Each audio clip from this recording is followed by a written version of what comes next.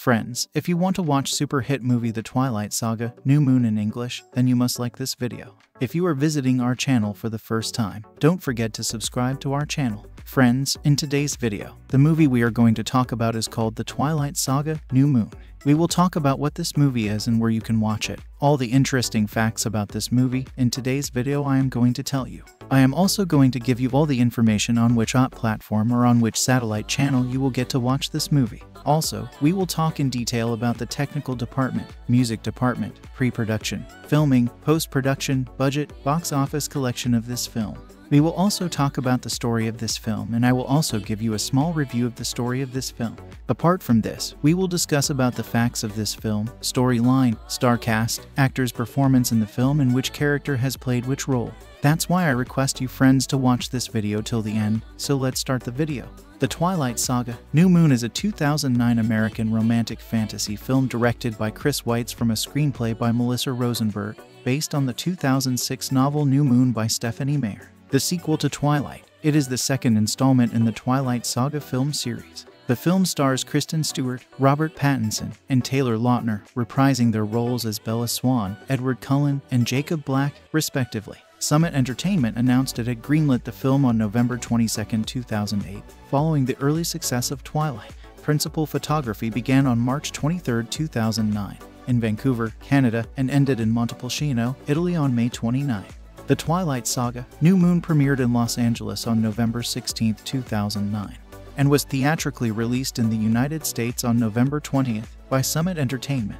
The film received mixed to negative reviews from critics, who criticized its story, Weitz's direction, its darker tone, and Lautner's performance, but praised its visual effects, Pattinson and Stewart's performances, pacing, and Desplat's musical score. The film grossed $711 million worldwide, becoming the seventh highest grossing film of 2009. It set domestic box office records as the biggest midnight opening in the United States and Canada, grossing $26.3 million, which was superseded by its sequel, The Twilight Saga Eclipse. This led to the highest single day domestic gross on an opening day, with $72.7 million, until it was beaten by Harry Potter and the Deathly Hallows, Part 2. The film also became the widest independent release, playing in 4,024 theaters, until it was surpassed by the Twilight Saga Eclipse. New Moon was released on DVD and Blu-ray disc on March 20, 2010. As of July 2012, the film has grossed $184.9 million in North American DVD sales, selling more than 8.8 million units, 4 million of which were sold within its first weekend,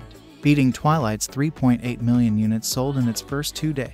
The film received three sequels The Twilight Saga Eclipse, The Twilight Saga Breaking Dawn Part 1, and The Twilight Saga Breaking Dawn Part 2 in 2010, 2011, and 2012, respectively. Movie plot on Bella Swan's 18th birthday, she awakens from a dream where she is an old woman and Edward Cullen, her immortal vampire boyfriend, is forever young, despite her lack of enthusiasm.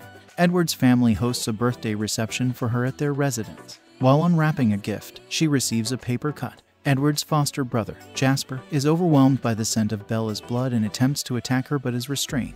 Believing that he and his family are putting her life in danger, Edward ends their relationship and the Cullens leave Forks. Bella is left severely depressed and isolates herself for months. Her concerned father, Charlie, wants to send Bella to live with her mother in Jacksonville, Florida. She refuses, promising to spend more time with her other school friends. After she and Jessica see a movie, Bella approaches some rough looking bikers outside the theater, much to Jessica's dismay. The dangerous encounter reminds Bella of a previous near assault where Edward rescued her. She imagines seeing and hearing him and realizes that thrill seeking activities evoke his image. Bella's Quileute friend Jacob Black helps ease her pain by engaging her in various activities. He says that many of his friends follow and obey Sam, another Quileute. While attending a movie with Bella and Mike, Jacob abruptly leaves after becoming inexplicably upset and suffering a burning fever. Bella drives to his home after he avoids seeing her. Jacob has cut his long hair and now has the same Quileute tattoo on his upper right arm as Sam and other tribe members. He tells Bella to stay away. When Bella hikes to the meadow that she and Edward often visited, she is confronted by Victoria's vampire companion Laurent. As he is about to kill her, a wolf pack appears and attacks him. Bella eventually discovers that Jacob and the other tribe members are giant werewolves. Their age-old enemies are vampires, though a treaty exists between the Cullens and the tribe. Jacob's pack members are currently on alert for Victoria, the vampire seeking to avenge her mate, James, whom Edward killed to protect Bella. with Jacob focused on adapting to his new shape shifting powers. Bella again finds herself alone and returns to seeking thrill inducing activity, deliberately oblivious to Victoria's presence. Through a series of miscommunications, Edward believes that Bella has killed herself after Edward's sister Alice has a vision of Bella jumping off a seaside cliff. Distraught, Edward travels to Italy to ask the Volturi to end his life, as he is incapable of doing so himself. When they refuse his request, he plans to force their hand by exposing himself as a vampire to humans during a large festival. Alice returns to Forks, shocked to find Bella is still alive. Alice and Bella travel to Italy to save Edward, arriving in time to prevent him from revealing himself as a vampire. Overjoyed that Bella is alive, he confesses that he left Forks out of concern for her and promises never to leave her again. Edward defends Bella from Felix, one of the Volturi, as the Volturi do not allow humans to confide in vampire society, and Edward is easily overpowered. As the Volturi are about to kill him, Bella asks that they kill her instead, impressed by a human's willingness to sacrifice her life for a vampire. The Volturi determine that Bella, knowing that vampires exist, must either be killed or be transformed into a vampire. Alice shares her vision of Bella as a vampire with Aro, a Volturi elder able to read thoughts through touch. Aro decides to let them go after extracting a promise that Bella be turned eventually. After returning to Forks, Bella asks the Cullens to vote on her becoming a vampire. Much to Edward and Rosalie's chagrin, Everyone else votes yes. Jacob reminds Edward that the years old treaty with Quileute will be broken if any Cullen bites a human, but Bella tells Jacob it is her choice, not the Cullens. At the Meadows, Edward admits that he will let Bella transform into a vampire only if she agrees to marry him. Initially, Bella refuses but contemplates doing so afterward. Cast Kristen Stewart as Bella Swan, a teenage girl who falls into a deep depression after her true love, Edward Cullen, leaves her. Her friendship with Jacob Black is expanded as she realizes that he can mend the hole left open by Edward. Robert Pattinson as Edward Cullen, Bella's vampire boyfriend who abruptly leaves town to protect her. Taylor Lautner as Jacob Black, a cheerful companion who eases Bella's pain over losing Edward. He reveals to Bella that he is part of a pack of werewolves whose main goal is to protect her from the vampires Laurent and Victoria. Ashley Greene as Alice Cullen, a member of the Cullen family who can see subjective visions of the future and who develops a deep friendship with Bella. Rachelle Lefevre as Victoria Sutherland, a ruthless vampire who wants to avenge her lover, James. This would be her final appearance as the character before being replaced by Bryce Dallas Howard in the next installment a year later. Billy Burke as Charlie Swan, Bella's father and Forks chief of police. Peter Facinelli as Carlisle Cullen, leader and father figure of the Cullen family. Nikki Reed as Rosalie Hale, a member of the Cullen family. Kellen Lutz as Emmett Cullen, a member of the Cullen family. Jackson Rathbone as Jasper Hale, a member of the Cullen family who thirsts for Bella's blood after she receives a paper cut. He has the ability to manipulate emotions. Anna Kendrick is Jessica Stanley, Bella's self involved friend. Michael Sheen is Aro, the leader of an ancient Italian vampire coven known as the Volturi. Dakota Fanning as Jane, a guard of the Volturi who has the ability to torture people with illusions of pain. Elizabeth Reaser as Esme Cullen, Carlisle's wife and the mother figure of the Cullen family. Edi Gathegi as Laurent Darrivin, a vampire who wants to kill Bella because he thirsts for her blood. Noot Seear as Heidi, who leads the tourists into the Volturi's chamber and urges them to stay together while Demetri leads Bella, Alice, and Edward in the opposite direction. Heidi's special ability is to make herself attractive to other people, regardless of species or gender. Michael Welch is Mike Newton, Bella's friend who has a crush on her. He joins her on a date with Jacob. Chaske Spencer is Sam Uley, Alpha of the Wolf Pack. Tyson Houseman is Quil Ateara. Kiowa Gordon is Embry Call. Alex Meraz is Paul Lahote. Bronson Pelletier as Jared Cameron. Graham Greene as Harry Clearwater, a Quileute elder and Charlie's friend. Gil Birmingham as Billy Black, a Quileute elder and Jacob's physically disabled father. Christian Serratos as Angela Weber, Bella's shy but caring friend. Justin Chon is Eric Yorkie, Bella's friend and Angela's boyfriend. Tinsel Korey as Emily Young, Sam's imprinted fiance whom he once hurt unintentionally. Jamie Campbell Bower as Caius, a Volturi elder who is very strict about vampire laws. Christopher Heyerdahl as Marcus, a Volturi elder who has the gift of seeing the relationship connections between people. Justine Wachsberger as Gianna, Volturi's human secretary. Cameron Bright as Alec, Jane's brother who has the ability to cut off senses. Charlie Bewley as Demetri, a Volturi guard who is a gifted tracker. Daniel Cudmore as Felix, a Volturi guard who has supreme strength. Development In early November 2008, Summit Entertainment obtained the film adaptation rights to the remaining novels in the Twilight book series New Moon, Eclipse, and Breaking Dawn. On November 22, 2008, one day after the theatrical release of Twilight, Summit confirmed that they would begin working on New Moon. Author Stephenie Meyer said, I don't think any other author has had a more positive experience with the makers of her movie adaptation than I have had with Summit Entertainment. In early December 2008, it was announced that Twilight director Catherine Hardwicke would not be returning to direct the sequel.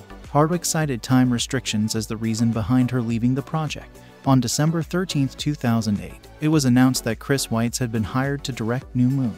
Weitz released a statement shortly after the announcement, assuring fans that he would protect on their behalf the characters, themes, and story they love. He continued by saying, this is not a task to be taken lightly, and I will put every effort into realizing a beautiful film to stand alongside a beautiful book. Screenwriter Melissa Rosenberg had been working on adapting the novel prior to Twilight's release and handed in the draft for New Moon during Twilight's opening weekend in November 2008, adding, I would sit down at 10 o'clock in the morning and work on until 6 o'clock in the evening. Rosenberg spent the months of June through October 2008 alternating between writing for the Showtime television series Dexter and writing New Moon on weekends. She and Meyer kept in touch during this five month period. Casting Due to major physical changes that occur in the character of Jacob Black between Twilight and New Moon, Weitz considered replacing Taylor Lautner in the sequel with an actor who could more accurately portray the new, larger Jacob Black. In an attempt to keep the role, Lautner weight trained extensively and gained approximately 30 pounds. In January 2009, Weitz and Summit Entertainment announced that Lautner would continue to play the role of Jacob in the sequel. In an interview, fellow cast member Kristen Stewart talked about Lautner's transformation, saying, He's an entirely different person physically. In late March 2009, Summit Entertainment released a list of the actors who would be portraying the Wolf Pack alongside Lautner. The casting for the rest of the Quileute tribe was headed by casting director Renee Haynes, who has worked on films with large Native American casts, such as Dances with Wolves and Bury My Heart at Wounded Knee. A casting call was also held in Vancouver in February 2009, specifically asking for any First Nations, Aboriginal actors and actresses between the ages of 15 and 25. Filming, pre-production for New Moon began in December 2008. Principal photography was scheduled to begin on March 23, 2009 in Vancouver, but began a few days early. Weitz envisioned a warm color palette for the sequel, contrary to the first film in the series, whose blue tones were prevalent. His intention resulted in golden tones, a change that was inspired by Italian paintings and ultimately served as the basis for the crew's collaborative work. The approach also included the use of specific colors at certain points in the movie. For example, although Jacob's house is red, the color does not dominate until the climax of the movie. The director noted that the square becomes a flood of red. That's how conscious we were of every visual aspect. The use of film, rather than digital, cameras added to the old-fashioned nature of the production two main Panavision cameras, a high speed Arri 435 camera capable of shooting at 150 frames per second, a Steadicam, and VistaVision cameras for visual effect shots were among the equipment used to bring the book to the big screen. As with the use of specific colors, the different cameras and shooting setups would help serve the story points. When Bella was with Edward, the camera was moved on a dolly in a very rigid, straight line to reflect how their relationship was perfect. When Bella is with Jacob, the Steadicam provided a fluid and organic style, and when she is with her schoolmates, a slangy visual language was reflected by a handheld.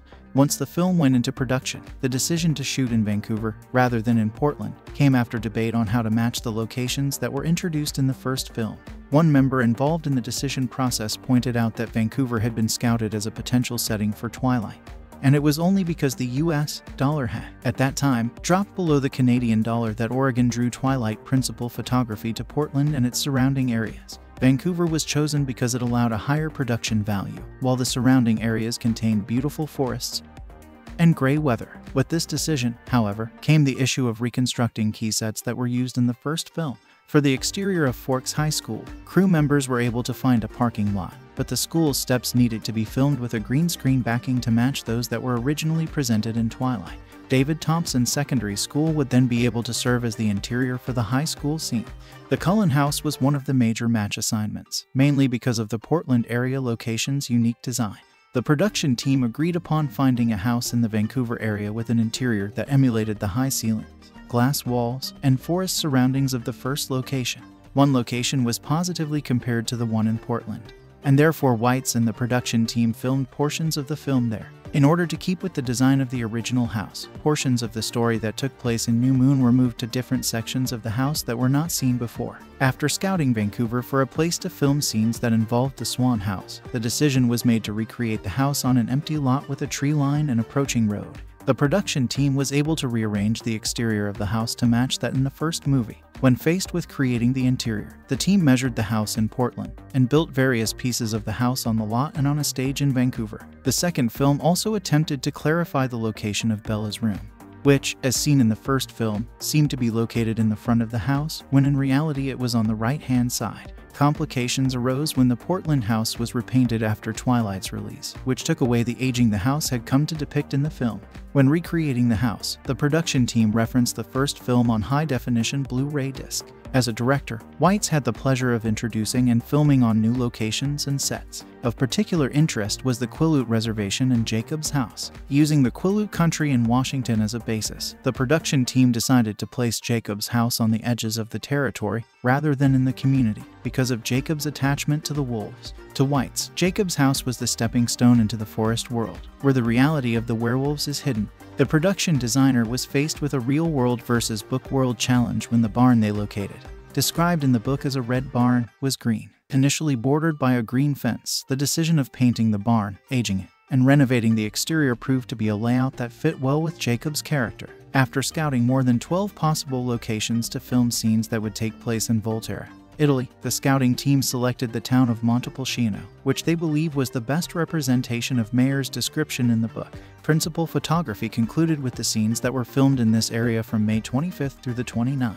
For the face-off between the Volturi and Edward, the idea was to have a bigger bang rather than just the paralysis of Edward. Initially, what was a huge battle with vampires being thrown everywhere turned into a one on one fight between Felix and Edward. After receiving a stamp of approval from Meyer, the idea quickly changed from the typical outlandish battle to portraying Edward as an average guy caught in the middle of a bad situation. For Bella, conveying the feeling of being caught in the middle of a group of vampires fighting was important as well. This scene also required special effects, stunt work, and figuring out how to portray vampires fighting at very fast speeds. Visual effects. Overseeing the visual effects department for New Moon was Susan MacLeod, who had previously worked with Weitz during the production of The Golden Compass. MacLeod enlisted Tippett Studio to create the computer-generated wolves, while Prime Focus of Vancouver handled the effects of the vampires. To prepare for the aggressive task of making the wolves look real, Tippett artists studied wolf culture. They also were able to reflect leadership and human muscle size by adjusting certain features of the wolves, such as their fat and height.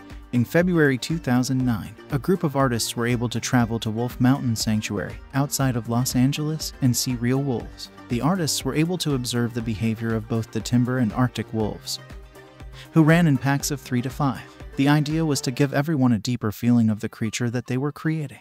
MacLeod explained that creating the shape-shifting werewolves was not an easy task. The wolf work included shooting plates, or photographic imagery into which CG creations are integrated.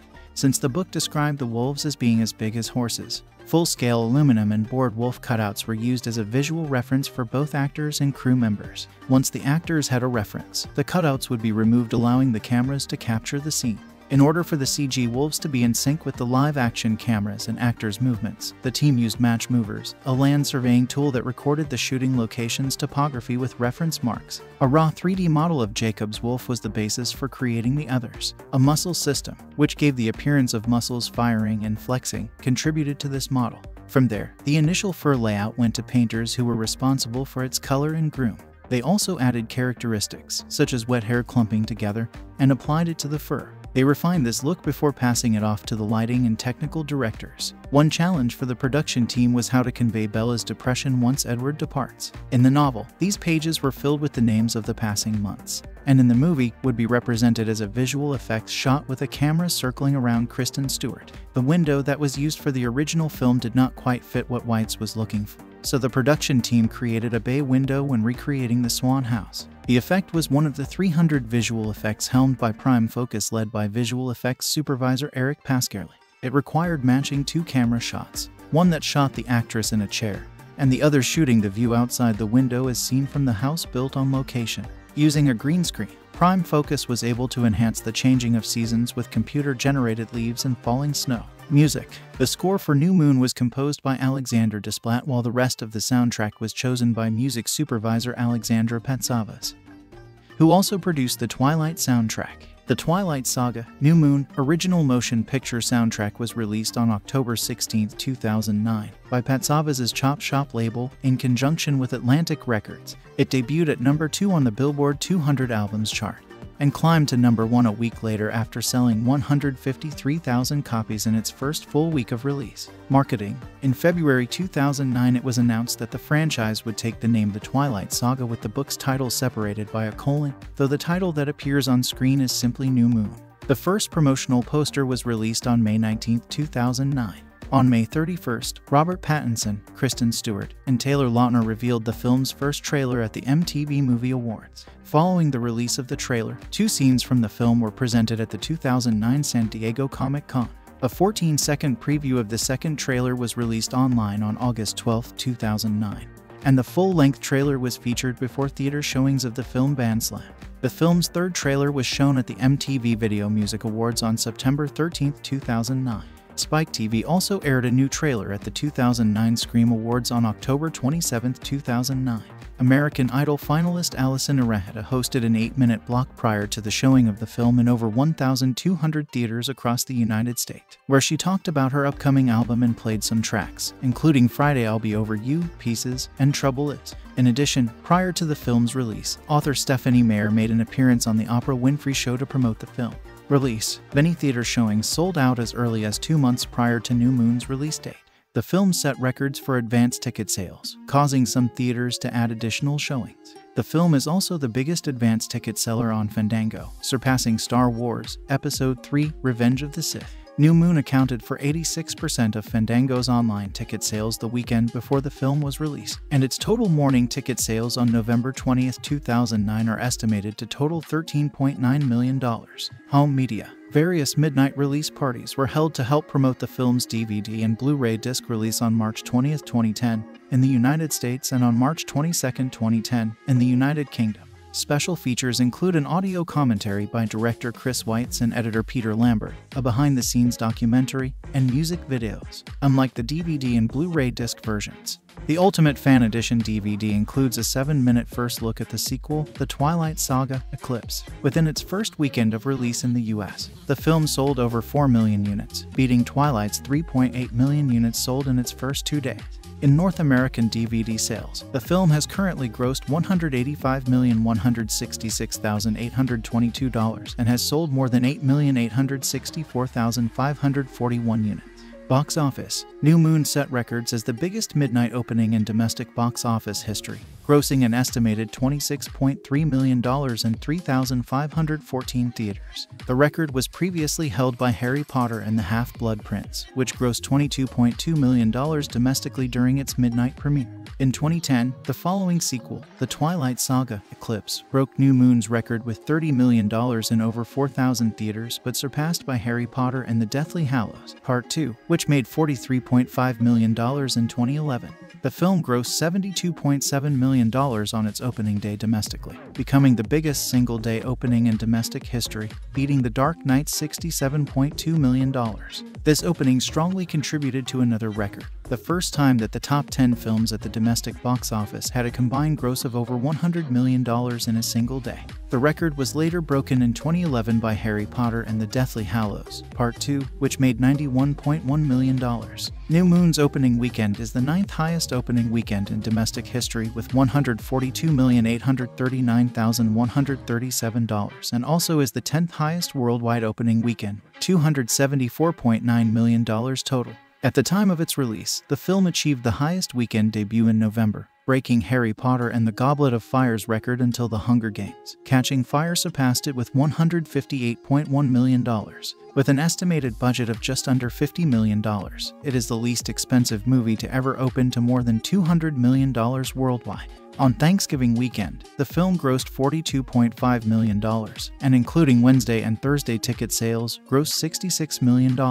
It has earned $230.7 million in total since opening last week, 22% more than the previous film grossed in its entire theatrical run. Internationally, the film grossed roughly $85 million over the weekend, adding up to a total worldwide gross of $473.7 million in 10 days. In its third weekend, New Moon grossed $15.7 million in the domestic market and another $40.7 million internationally for a worldwide gross of $570.1 million. In its fourth weekend, the film dropped down to number 4 with an estimated $10 million, bringing its domestic total to $296,623,634. Critical response New Moon received mixed to negative reviews from critics. Review aggregator Rotten Tomatoes reports that 29% of 231 critics gave the film a positive review, with a rating average of 4. 8 tenth. The site's general consensus is that the Twilight Saga's second installment may satisfy hardcore fans of the series, but outsiders are likely to be turned off by its slow pace, relentlessly downcast tone, and excessive length. On Metacritic, which assigns a weighted mean rating out of 100 reviews from film critics, the film has a rating score of 44 based on 32 reviews. Audiences polled by CinemaScore gave the film an A grade. Robert Agnizio of the Cleveland Scene described the film as an entertaining fantasy, and noted that it has a stronger visual look and does a better job with its action scenes while still keeping the focus on the central love triangle. Michael O'Sullivan of the Washington Post gave the film two and a half stars out of four, praised Kristen Stewart's performance in the film and wrote, Despite melodrama that, at times, is enough to induce diabetes, there's enough wolf whistle in this sexy, scary romp to please anyone. The Seattle Post Intelligencer gave the film a B grading and said, The movie looks tremendous, the dialogue works, there are numerous well placed jokes, the acting is on point.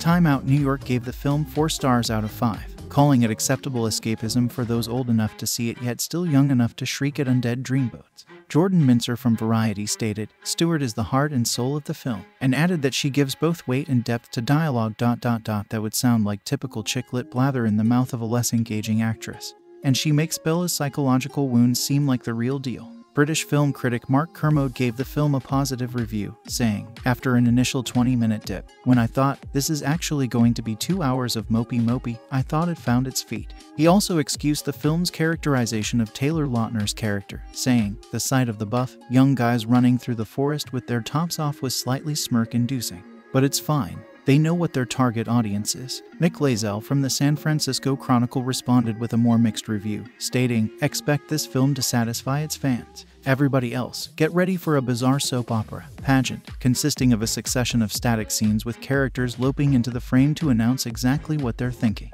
Digital Spy gave the film 2 stars out of 5 praising Kristen Stewart for carrying the film on her shoulders and, once again, bringing plenty of soul to a character who might otherwise come across as self indulgent but was critical of its lack of action, ultimately calling it a draining experience. Roger Ebert gave the film one star out of four and said that it takes the tepid achievement of Twilight, guts it, and leaves it for undead.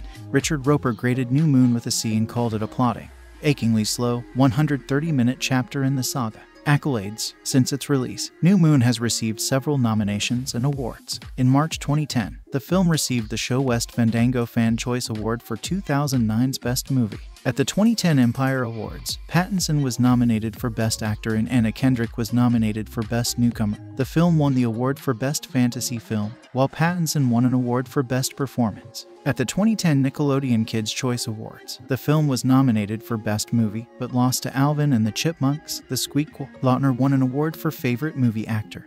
And Jacob and Bella, who were also nominated alongside Edward and Bella, won an award for Best Couple. At the 2010 MTV Movie Awards, Pattinson, who was nominated alongside Stewart and Lautner, won the award for Global Superstar. The Best Male Performance Award was also given to Pattinson, who was, again, nominated against Lautner. Stewart and Pattinson won the award for Best Kiss, while New Moon won the award for Best Movie. For the 2010 Teen Choice Awards, held on August 8th, the film and its actors were given a combined total of 10 nominations, 8 of which the film won, and 3 separate awards going to the Twilight Saga Eclipse. In addition, the film was nominated for Best Horror Film and Taylor Lautner was nominated for Best Performance by a Younger Actor at the 36th Saturn Awards, but lost to Drag Me to Hell and Saoirse Ronan, respectively. Lautner was also nominated for Best Performance in a Feature Film, leading actor at the 2010 Young Artist Awards. However, it was nominated for four Razzies Worst Supporting Actor, Worst Screen Couple, Kristen Stewart and either Taylor Lautner or Robert Pattinson, Worst Prequel, Remake, Ripoff or Sequel, and Worst Screenplay. Sequel In February 2009, Summit Entertainment scheduled a film adaptation of Eclipse, the third novel in the Twilight series, for release on June 30, 2010. Weitz would not be able to direct the third film of the Twilight Saga as it would be filming while New Moon would be in post production. David Slade was therefore confirmed as the director of the Twilight Saga. Eclipse on April 22, 2009. The Twilight Saga New Moon Movie Review. The characters in this movie should be arrested for loitering with intent to moan. Never have teenagers been in greater need of a jump start. Granted, some of them are more than 100 years old, but still, their charisma is by Madame Tussauds. The Twilight Saga. New Moon takes the tepid achievement of Twilight, guts it, and leaves it for undead. You know you're in trouble with a sequel when the word of mouth advises you to see the first movie twice instead. Obviously, the characters all have. Long opening stretches of this film make utterly no sense unless you walk in knowing the first film, and hopefully both Stephenie Meyer novels by heart. Edward and Bella spend murky moments glowering at each other and thinking, so here we are again. Bella is still living at home with her divorced dad, a cop whose disciplinary policy involves declaring her grounded for the rest of her life and then disappearing so she can jump from cliffs, haunt menacing forests, and fly to Italy so the movie can evoke the sad final death scene from Why, Hold On, It's Romeo and Juliet. The very play Edward was reciting narcissistically and contemptuously in an opening scene. Yes, Edward is back in school, repeating the 12th grade for the 84th time. Bella sees him in the school parking lot, walking toward her in slow motion, wearing one of those Edwardian Beatles jackets with a velvet collar, pregnant with his beauty. How white his skin, how red his lips. The decay of middle age may transform him into the Joker. Edward and the other members of the Cullen vampire clan stand around a lot with glowering skulks. Long pauses interrupt longer ones. Listen up, lads. You may be immortal, but we've got a train to catch. Edward leaves, because Bella was not meant to be with him. Although he's a vegetarian vampire, when she gets a paper cut at her birthday party, one of his pals leaps on her like a shark on a tuna fish. In his absence, she's befriended by Jake.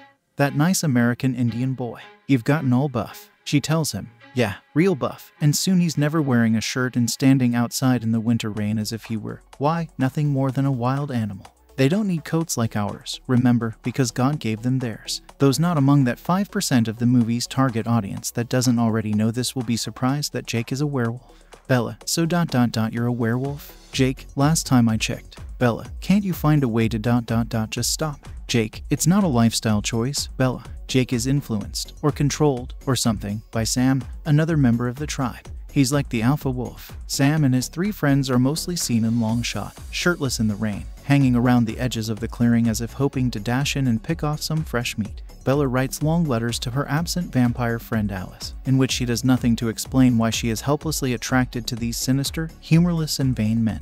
It can't be the sex. As I've already explained in my review of the first film, the Twilight Saga is an extended metaphor for teen chastity, in which the punishment for being deflowered I will leave to your imagination. The movie includes beauteous fields filled with potted flowers apparently buried hours before by the grounds crew, and nobody not clued in on the plot, since they know it all and we know all. Sitting through this experience is like driving a tractor in low gear though a sullen sea of Brylcreem. Other information about this film. The Twilight films seem to divide people into two distinct camps, obsessed fans and everyone else. Those in the first group have already made their mind up about New Moon, probably before even a single frame was shot. They're going to see it, and they're going to love it. It's faithful to the book and filled with romantic tension, teen angst, and, of course, hot boys running around without their shirts on. The problem is that all of this fan service comes at the expense of telling a good story with characters the general audience can care about without having read any of Stephenie Meyer's books. If you're wondering what all the fuss is about, the answer is complicated and can be hard to understand if you've never been a teenage girl. At its essence, the Twilight books are a wish fulfillment fantasy wrapped in an abstinence metaphor. The central character is Bella, played by Kristen Stewart, a plain, ordinary girl who attracts the romantic attention of just about every boy in Forks, Wash, where she lives with her divorced dad. That attention includes a beautiful and exquisitely tortured vampire named Edward Cullen, who attends school with the rest of his vampire clan in an attempt to fit in. Edward isn't just attracted to Bella physically. He's drawn to the deliciously sweet smell of her blood, but he's a benevolent vegetarian vampire who doesn't eat humans so he's forced to constantly keep himself in check whenever he's around her. It's that gentlemanly restraint that fuels the tension between these two, who really just want to get it on, but can't. At least, not until they're married. But that's skipping ahead. New Moon introduces two new elements to the mythology of the series. The first is the existence of werewolves, in this case a group of Native American boys from the Quileute Reservation not far from Forks. Like the vampires, who don't have fangs and sparkle in the sunlight, The werewolves in the Twyverse have their own set of rules that don't conform to the familiar legend. They can transform at will, day or night, and their metamorphosis has no bearing on the phases of the moon. Also, in this world, lycanthropy is hereditary and exclusive to the Quileute tribe, it's not caused by a bite or scratch. The other new element is the development of a love triangle between Bella, Edward, and Bella's friend Jacob, who we saw briefly in the first film. Bella and Edward are separated for much of the film leaving Jacob to pick up the pieces after she descends into a deep depression. Jacob, who has his own problems to deal with when he discovers he's a werewolf, serves as a shoulder to cry on and also a potential alternate love interest for Bella. Unfortunately for Jacob, though, Bella and Edward have already been set up as this epic, star-crossed couple, so you never really feel like he has a chance with her, though he's arguably a much better match in some ways. Meanwhile, Bella is so wrapped up in her love for Edward that it practically defines her existence. When she accidentally discovers that she has visions of him whenever she's in danger, she seeks out increasingly perilous situations just to see him again. Conveniently for her, Jacob builds motorcycles, so she buys a couple and gets him to help her fix them up. Jacob is fully aware she's only using him, but he lets her do it anyway because he's a young fool in love. It doesn't engender much sympathy for either of the characters, nor does Edward come off looking like much of a hero after abandoning Bella for her own good. The film suffers a bit from middle child syndrome, often a problem with the second part of multiple film franchises. Bella and Edward are already together when we enter the story, so there isn't that initial rush of watching the characters fall in love. The plot is also burdened with exposition and laying the groundwork of the next installment, most of which is done in the climactic final act set in the Italian city of Volterra. Until we get there, the pace tends to drag, and it often feels as though the story is just treading water. The performances don't really help matters much. With Edward out of the picture, Jacob becomes the male romantic lead for much of the film, and Lautner is up to the challenge. He's done a lot of work to bulk himself up for the role, and takes every possible opportunity to show it, even when it's not relevant to the story. Pattinson's job doesn't require much more of him than looking pretty and tortured, and he does both with equal proficiency. Stewart is the weak link here, however. She rushes through much of her dialogue, as if she is fully aware of how cheesy it is and just wants to get through it as quickly as possible. Her delivery isn't as flat and wooden as it was in Twilight, but she's still fairly subdued and joyless throughout much of the film which is a problem when you're the central character with whom audiences are supposed to identify. The most improved aspect here, in comparison with the last film, is the action scenes. Director Chris Weitz is clearly much more comfortable with the scope of a project like this, and he's a lot better at handling action than Twilight director Catherine Hardwicke. This isn't an action film by any stretch, but the conflict between the vampires and werewolves heats up in this installment, and we get a few cool action and chase sequences. The CG is also well designed and rendered. The werewolves in particular are expressive, and the transitions from human to creature are swift and seamless. At its heart, though, New Moon is an unabashedly melodramatic tale of tortured romance, fueled by a melancholy indie soundtrack featuring the likes of Death Cab for Cutie, Thom Yorke, Bon Iver, and The Killers. This film knows its audience well. It delivers what is expected of it, but not much more. New Moon will undoubtedly appeal to the legions of Twilight fans out there, but it'll be a harder sell for the rest of the movie going public. As a standalone film judged on its own merits, this vampire, werewolf movie doesn't have much bite. More detail, the Twilight Saga, New Moon is the second of four vampire stories by Stephenie Meyers, a Mormon. It continues the love story between Edward and Bella, two unique teenagers. Bella spirals down into a deep hole of depression when the vampire she loves leaves her in an effort to protect her. She finds herself picking up the pieces of her broken heart with her best friend, who happens to be a werewolf. Picking up where the first movie left off, New Moon opens with Bella, having recovered from the vampire attack that almost claimed her life, starting her senior year of high school and celebrating her 18th birthday with Edward Cullen, a vampire who refuses to attack humans and his family. After an ill-fated accident resulting in Bella's blood being spilled at the Cullen residence, which is almost too much for certain members of the family, Edward decides to leave Forks. He believes he is protecting Bella from the dangers of the vampire world by doing so. He asks her to promise him not to do anything reckless. Bella, utterly heartbroken and losing all semblance of functionality to the point of becoming zombie-like, is haunted by the memories of her time with Edward and seems incapable of pulling out of her new depression. Finally, after about four months, Bella makes an effort to reconnect with old friends, one of whom is a childhood friend, a Native American named Jacob Black. During this time, she accidentally discovers that, by being reckless and putting herself in dangerous situations, she is able to see images of Edward in her mind more clearly and hear his voice. Desperate to be with him no matter the cost to herself, she purposefully continues to put herself at risk. With Jacob's help, Bella rebuilds an old motorbike to further her dangerous escapades. She soon comes to discover that Jacob might be exactly what she needs to heal from the hurt of her broken relationship. She begins to feel alive and happy again even though the memory of Edward is still painful. Her friendship with Jacob, a member of the Quileute tribe, leads her to a new discovery concerning the secrets of their heritage, as Jacob must deal with a newfound ability to transform himself into a werewolf. In the midst of this, Bella's life is in danger with the arrival of Victoria, the vampire maid of James, who was killed by Edward and his family in the first movie. The emotional tension and plot slowly culminates in the end where Bella must save Edward from deliberately provoking the Volturi, a secret vampire society that regulates the laws over others of their kind, into killing Edward. Like Shakespeare's Romeo and Juliet, Edward has received information leading him to believe Bella is dead, and he believes that, by provoking the vampire leaders, he can end his misery. Fans of New Moon will love it, but many critics will groan.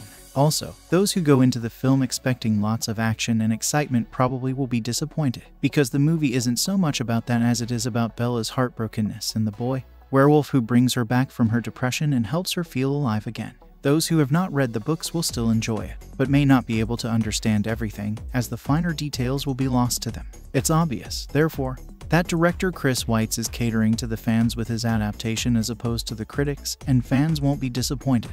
The production values of New Moon are held to a higher standard than the first movie, Twilight. For example, it does a much better job of staying true to the book than the first movie, and the character portrayals are much more believable as they demonstrate greater emotional depth. Although the actors give excellent performances, it is Kristen Stewart who carries the movie to the end. The screenplay is also well written, although some scenes had to be arranged differently than they were laid out in the book. But overall, the movie is a fair and accurate representation. The content of New Moon includes many positive, moral elements, surprising for a movie about vampires, werewolves, and teenage romance. For example, Bella is willing to give up her life for Edward if that means saving him. Also, Bella and Edward do not let their relationship go any farther than just kissing. Furthermore, Edward consistently refuses to give in to Bella's demands to be turned into a vampire because he is afraid that she will lose her soul and be damned to hell, although in the end he acquiesces on the condition that she marries him first. Lastly, the vampires who drink human blood are shown to be the evil, bad guys, and though the good vampires struggle with the temptation to do so as well, they do not give in to their bloodlust. That said, there are many reasons to be concerned about the content in New Moon. For example, Bella makes it very clear she wants to become a vampire and doesn't care about her soul. She even tells Edward he can take her soul as long as it means that she will get to be with him forever. As the heroine of the story, someone that young, impressionable girls would idolize, this message is potentially dangerous and misleading. Along these lines, the intense relationship between Bella and Edward is disconcerting. The impression is given that neither of them is capable of existing without the other. This kind of love is more like a combination of love, lust, and obsession rather than true love. In that light, the movie is filled with high emotion and teen angst to the point where characters are unable to function properly. Thus, the message being sent to teenagers and young adults is that this is what love really is.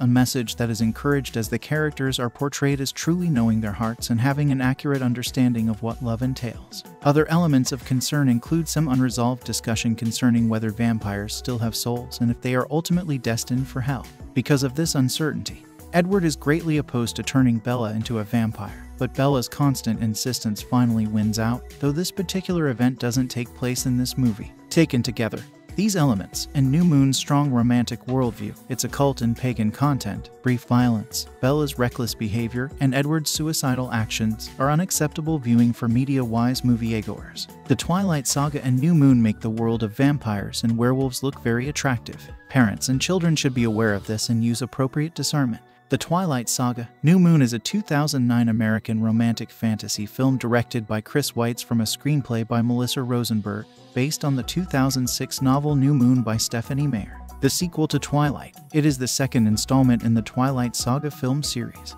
The film stars Kristen Stewart, Robert Pattinson, and Taylor Lautner, reprising their roles as Bella Swan, Edward Cullen, and Jacob Black, respectively. Summit Entertainment announced it had greenlit the film on November 22, 2008, following the early success of Twilight.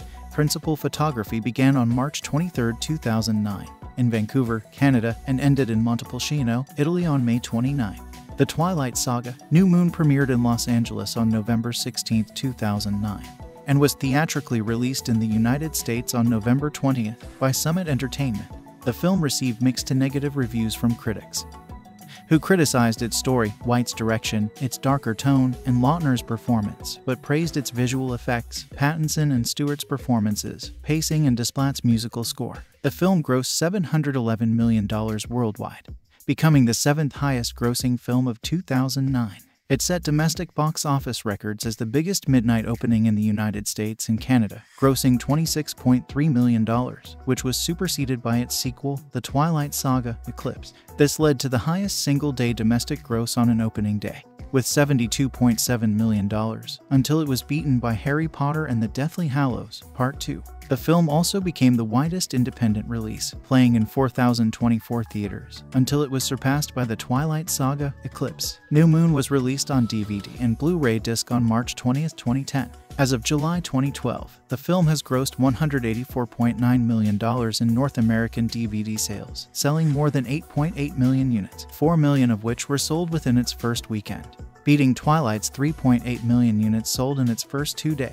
The film received three sequels The Twilight Saga Eclipse, The Twilight Saga Breaking Dawn Part 1, and The Twilight Saga Breaking Dawn Part 2 in 2010, 2011, and 2012, respectively. Movie plot On Bella Swan's 18th birthday, she awakens from a dream where she is an old woman and Edward Cullen, her immortal vampire boyfriend, is forever young, despite her lack of enthusiasm. Edward's family hosts a birthday reception for her at their residence. While unwrapping a gift, she receives a paper cut. Edward's foster brother, Jasper, is overwhelmed by the scent of Bella's blood and attempts to attack her but is restrained. Believing that he and his family are putting her life in danger, Edward ends their relationship and the Cullens leave Forks. Bella is left severely depressed and isolates herself for months. Her concerned father, Charlie, wants to send Bella to live with her mother in Jacksonville, Florida. She refuses, promising to spend more time with her other school friends. After she and Jessica see a movie, Bella approaches some rough looking bikers outside the theater, much to Jessica's dismay. The dangerous encounter reminds Bella of a previous near assault where Edward rescued her. She imagines seeing and hearing him and realizes that thrill seeking activities evoke his image. Bella's Quileute friend Jacob Black helps ease her pain by engaging her in various activities. He says that many of his friends follow and obey Sam, another Quileute. While attending a movie with Bella and Mike, Jacob abruptly leaves after becoming inexplicably upset and suffering a burning fever. Bella drives to his home after he avoids seeing her. Jacob has cut his long hair and now has the same Quileute tattoo on his upper right arm as Sam and other tribe members. He tells Bella to stay away. When Bella hikes to the meadow that she and Edward often visited, she is confronted by Victoria's vampire companion Laurent. As he is about to kill her, a wolf pack appears and attacks him. Bella eventually discovers that Jacob and the other tribe members are giant werewolves. Their age old enemies are vampires, though a treaty exists between the Cullens and the tribe. Jacob's pack members are currently on alert for Victoria, the vampire seeking to avenge her mate, James, whom Edward killed to protect Bella with Jacob focused on adapting to his new shape shifting powers. Bella again finds herself alone and returns to seeking thrill inducing activity, deliberately oblivious to Victoria's presence. Through a series of miscommunications, Edward believes that Bella has killed herself after Edward's sister Alice has a vision of Bella jumping off a seaside cliff. Distraught, Edward travels to Italy to ask the Volturi to end his life, as he is incapable of doing so himself. When they refuse his request, he plans to force their hand by exposing himself as a vampire to humans during a large festival. Alice returns to Forks, shocked to find Bella is still alive. Alice and Bella travel to Italy to save Edward, arriving in time to prevent him from revealing himself as a vampire. Overjoyed that Bella is alive, he confesses that he left Forks out of concern for her and promises never to leave her again. Edward defends Bella from Felix, one of the Volturi, as the Volturi do not allow humans to confide in vampire society and Edward is easily overpowered. As the Volturi are about to kill him, Bella asks that they kill her instead, impressed by a human's willingness to sacrifice her life for a vampire. The Volturi determine that Bella, knowing that vampires exist, must either be killed or be transformed into a vampire. Alice shares her vision of Bella as a vampire with Aro, a Volturi elder able to read thoughts through touch. Aro decides to let them go after extracting a promise that Bella be turned eventually. After returning to Forks, Bella asks the Cullens to vote on her becoming a vampire. Much to Edward and Rosalie's chagrin, everyone else votes yes. Jacob reminds Edward that the years old treaty with Quileute will be broken if any Cullen bites a human, but Bella tells Jacob it is her choice, not the Cullens. At the Meadows, Edward admits that he will let Bella transform into a vampire only if she agrees to marry him. Initially, Bella refuses but contemplates doing so afterward. Cast Kristen Stewart as Bella Swan, a teenage girl who falls into a deep depression after her true love, Edward Cullen, leaves her. Her friendship with Jacob Black is expanded as she realizes that he can mend the hole left open by Edward. Robert Pattinson as Edward Cullen, Bella's vampire boyfriend who abruptly leaves town to protect her. Taylor Lautner as Jacob Black, a cheerful companion who eases Bella's pain over losing Edward. He reveals to Bella that he is part of a pack of werewolves whose main goal is to protect her from the vampires Laurent and Victoria. Ashley Greene as Alice Cullen, a member of the Cullen family who can see subjective visions of the future and who develops a deep friendship with Bella. Rachelle Lefevre as Victoria Sutherland, a ruthless vampire who wants to avenge her lover, James. This would be her final appearance as the character before being replaced by Bryce Dallas Howard in the next installment a year later. Billy Burke as Charlie Swan, Bella's father and Forks chief of police. Peter Facinelli as Carlisle Cullen, leader and father figure of the Cullen family. Nikki Reed as Rosalie Hale, a member of the Cullen family. Kellen Lutz as Emmett Cullen, a member of the Cullen family. Jackson Rathbone as Jasper Hale, a member of the Cullen family who thirsts for Bella's blood after she receives a paper cut. He has the ability to manipulate emotions. Anna Kendrick as Jessica Stanley, Bella's self involved friend. Michael Sheen as Aro, the leader of an ancient Italian vampire coven known as the Volturi. Dakota Fanning as Jane, a guard of the Volturi who has the ability to torture people with illusions of pain. Elizabeth Reaser as Esme Cullen, Carlisle's wife and the mother figure of the Cullen family. Edi Gathegi as Laurent Darrivin, a vampire who wants to kill Bella because he thirsts for her blood. Noot Seear as Heidi, who leads the tourists into the Volturi's chamber and urges them to stay together while Demetri leads Bella, Alice, and Edward in the opposite direction. Heidi's special ability is to make herself attractive to other people, regardless of species or gender. Michael Welch is Mike Newton, Bella's friend who has a crush on her. He joins her on a date with Jacob. Chaske Spencer as Sam Uley, Alpha of the Wolf Pack. Tyson Houseman as Quil Ateara. Kiowa Gordon as Embry Call. Alex Meraz as Paul Lahote. Bronson Pelletier as Jared Cameron. Graham Greene as Harry Clearwater, a Quileute elder and Charlie's friend. Gil Birmingham as Billy Black, a Quileute elder and Jacob's physically disabled father. Christian Serratos as Angela Weber, Bella's shy but caring friend. Justin Chon as Eric Yorkie, Bella's friend and Angela's boyfriend. Tinsel Korey as Emily Young, Sam's imprinted fiance whom he once hurt unintentionally. Jamie Campbell Bower as Caius, a Volturi elder who is very strict about vampire laws. Christopher Heyerdahl as Marcus, a Volturi elder who has the gift of seeing the relationship connections between people. Justine Wachsberger as Gianna, Volturi's human secretary. Cameron Bright as Alec, Jane's brother who has the ability to cut off senses. Charlie Bewley as Demetri, a Volturi guard who is a gifted tracker. Daniel Cudmore as Felix, a Volturi guard who has supreme strength. Development In early November 2008, Summit Entertainment obtained the film adaptation rights to the remaining novels in the Twilight book series New Moon, Eclipse, and Breaking Dawn. On November 22, 2008, one day after the theatrical release of Twilight, Summit confirmed that they would begin working on New Moon. Author Stephenie Meyer said, I don't think any other author has had a more positive experience with the makers of her movie adaptation than I have had with Summit Entertainment. In early December 2008, it was announced that Twilight director Catherine Hardwicke would not be returning to direct the sequel. Hardwicke cited time restrictions as the reason behind her leaving the project. On December 13, 2008, it was announced that Chris Weitz had been hired to direct New Moon. Weitz released a statement shortly after the announcement, assuring fans that he would protect on their behalf the characters, themes, and story they love. He continued by saying, this is not a task to be taken lightly, and I will put every effort into realizing a beautiful film to stand alongside a beautiful book. Screenwriter Melissa Rosenberg had been working on adapting the novel prior to Twilight's release and handed in the draft for New Moon during Twilight's opening weekend in November 2008, adding, I would sit down at 10 o'clock in the morning and work on until 6 o'clock in the evening. Rosenberg spent the months of June through October 2008 alternating between writing for the Showtime television series Dexter and writing New Moon on weekends. She and Meyer kept in touch during this five month period. Casting Due to major physical changes that occur in the character of Jacob Black between Twilight and New Moon, Weitz considered replacing Taylor Lautner in the sequel with an actor who could more accurately portray the new, larger Jacob Black. In an attempt to keep the role, Lautner weight trained extensively and gained approximately 30 pounds. In January 2009, Weitz and Summit Entertainment announced that Lautner would continue to play the role of Jacob in the sequel. In an interview, fellow cast member Kristen Stewart talked about Lautner's transformation, saying, He's an entirely different person physically. In late March 2009, Summit Entertainment released a list of the actors who would be portraying the Wolf Pack alongside Lautner. The casting for the rest of the Quileute tribe was headed by casting director Renee Haynes, who has worked on films with large Native American casts, such as Dances with Wolves and Bury My Heart at Wounded Knee. A casting call was also held in Vancouver in February 2009, specifically asking for any First Nations, Aboriginal actors and actresses between the ages of 15 and 25. Filming, pre-production for New Moon began in December 2008. Principal photography was scheduled to begin on March 23, 2009 in Vancouver, but began a few days early. Weitz envisioned a warm color palette for the sequel, contrary to the first film in the series, whose blue tones were prevalent. His intention resulted in golden tones, a change that was inspired by Italian paintings, and ultimately served as the basis for the crew's collaborative work.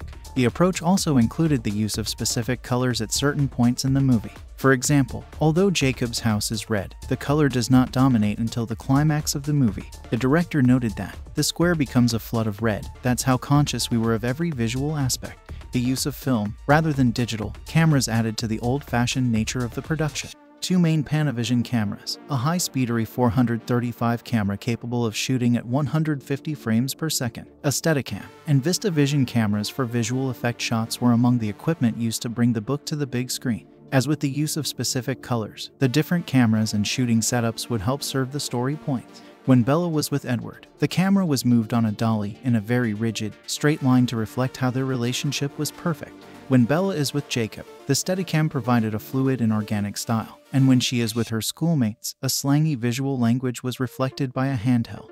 Once the film went into production, the decision to shoot in Vancouver, rather than in Portland, came after debate on how to match the locations that were introduced in the first film. One member involved in the decision process pointed out that Vancouver had been scouted as a potential setting for Twilight and it was only because the US dollar had, at that time, dropped below the Canadian dollar that Oregon drew Twilight principal photography to Portland and its surrounding areas. Vancouver was chosen because it allowed a higher production value, while the surrounding areas contained beautiful forests and gray weather. With this decision, however, came the issue of reconstructing key sets that were used in the first film. For the exterior of Forks High School, crew members were able to find a parking lot, but the school's steps needed to be filmed with a green screen backing to match those that were originally presented in Twilight. David Thompson Secondary School would then be able to serve as the interior for the high school scene.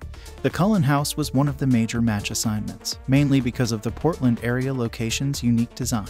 The production team agreed upon finding a house in the Vancouver area with an interior that emulated the high ceilings, glass walls, and forest surroundings of the first location. One location was positively compared to the one in Portland and therefore Weitz and the production team filmed portions of the film there. In order to keep with the design of the original house, portions of the story that took place in New Moon were moved to different sections of the house that were not seen before. After scouting Vancouver for a place to film scenes that involved the Swan House, the decision was made to recreate the house on an empty lot with a tree line and approaching road. The production team was able to rearrange the exterior of the house to match that in the first movie. When faced with creating the interior, the team measured the house in Portland and built various pieces of the house on the lot and on a stage in Vancouver. The second film also attempted to clarify the location of Bella's room, which, as seen in the first film, seemed to be located in the front of the house when in reality it was on the right hand side. Complications arose when the Portland house was repainted after Twilight's release, which took away the aging the house had come to depict in the film. When recreating the house, the production team referenced the first film on high-definition Blu-ray disc. As a director, Weitz had the pleasure of introducing and filming on new locations and sets. Of particular interest was the Quileute Reservation and Jacob's House. Using the Quileute country in Washington as a basis, the production team decided to place Jacob's house on the edges of the territory rather than in the community because of Jacob's attachment to the wolves. To Weitz, Jacob's house was the stepping stone into the forest world, where the reality of the werewolves is hidden.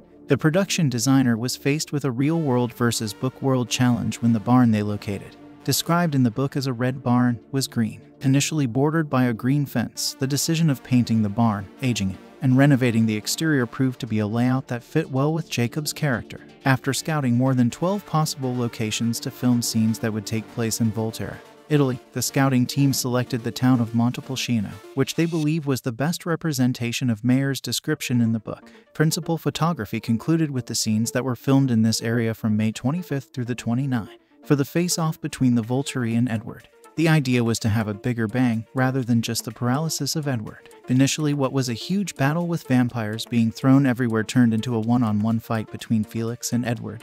After receiving a stamp of approval from Meyer, the idea quickly changed from the typical outlandish battle to portraying Edward as an average guy caught in the middle of a bad situation. For Bella, conveying the feeling of being caught in the middle of a group of vampires fighting was important as well. This scene also required special effects, stunt work, and figuring out how to portray vampires fighting at very fast speeds. Visual effects. Overseeing the visual effects department for New Moon was Susan MacLeod, who had previously worked with Weitz during the production of The Golden Compass. MacLeod enlisted Tippett Studio to create the computer-generated wolves, while Prime Focus of Vancouver handled the effects of the vampires. To prepare for the aggressive task of making the wolves look real, Tippett artists studied wolf culture. They also were able to reflect leadership and human muscle size by adjusting certain features of the wolves, such as their fat and height. In February 2009, a group of artists were able to travel to Wolf Mountain Sanctuary outside of Los Angeles and see real wolves. The artists were able to observe the behavior of both the timber and Arctic wolves,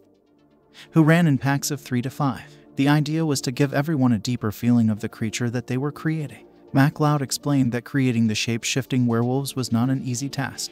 The wolf work included shooting plates, or photographic imagery into which CG creations are integrated since the book described the wolves as being as big as horses. Full-scale aluminum and board wolf cutouts were used as a visual reference for both actors and crew members. Once the actors had a reference, the cutouts would be removed allowing the cameras to capture the scene. In order for the CG wolves to be in sync with the live-action cameras and actors' movements, the team used Match Movers, a land surveying tool that recorded the shooting location's topography with reference marks. A raw 3D model of Jacob's wolf was the basis for creating the others. A muscle system, which gave the appearance of muscles firing and flexing, contributed to this model. From there, the initial fur layout went to painters who were responsible for its color and groom. They also added characteristics, such as wet hair clumping together, and applied it to the fur. They refined this look before passing it off to the lighting and technical directors. One challenge for the production team was how to convey Bella's depression once Edward departs. In the novel, these pages were filled with the names of the passing months and in the movie would be represented as a visual effects shot with a camera circling around Kristen Stewart. The window that was used for the original film did not quite fit what Weitz was looking for, so the production team created a bay window when recreating the Swan House. The effect was one of the 300 visual effects helmed by Prime Focus led by visual effects supervisor Eric Pascarelli. It required matching two camera shots, one that shot the actress in a chair, and the other shooting the view outside the window as seen from the house built on location. Using a green screen, Prime Focus was able to enhance the changing of seasons with computer-generated leaves and falling snow. Music. The score for New Moon was composed by Alexander Desplat while the rest of the soundtrack was chosen by music supervisor Alexandra Patsavas who also produced the Twilight soundtrack. The Twilight Saga New Moon original motion picture soundtrack was released on October 16, 2009 by Patsavas' Chop Shop label in conjunction with Atlantic Records. It debuted at number 2 on the Billboard 200 albums chart and climbed to number one a week later after selling 153,000 copies in its first full week of release. Marketing In February 2009, it was announced that the franchise would take the name The Twilight Saga with the book's title separated by a colon, though the title that appears on screen is simply New Moon. The first promotional poster was released on May 19, 2009. On May 31st, Robert Pattinson, Kristen Stewart, and Taylor Lautner revealed the film's first trailer at the MTV Movie Awards. Following the release of the trailer, two scenes from the film were presented at the 2009 San Diego Comic Con. A 14 second preview of the second trailer was released online on August 12, 2009, and the full length trailer was featured before theater showings of the film Bandslam. The film's third trailer was shown at the MTV Video Music Awards on September 13, 2009.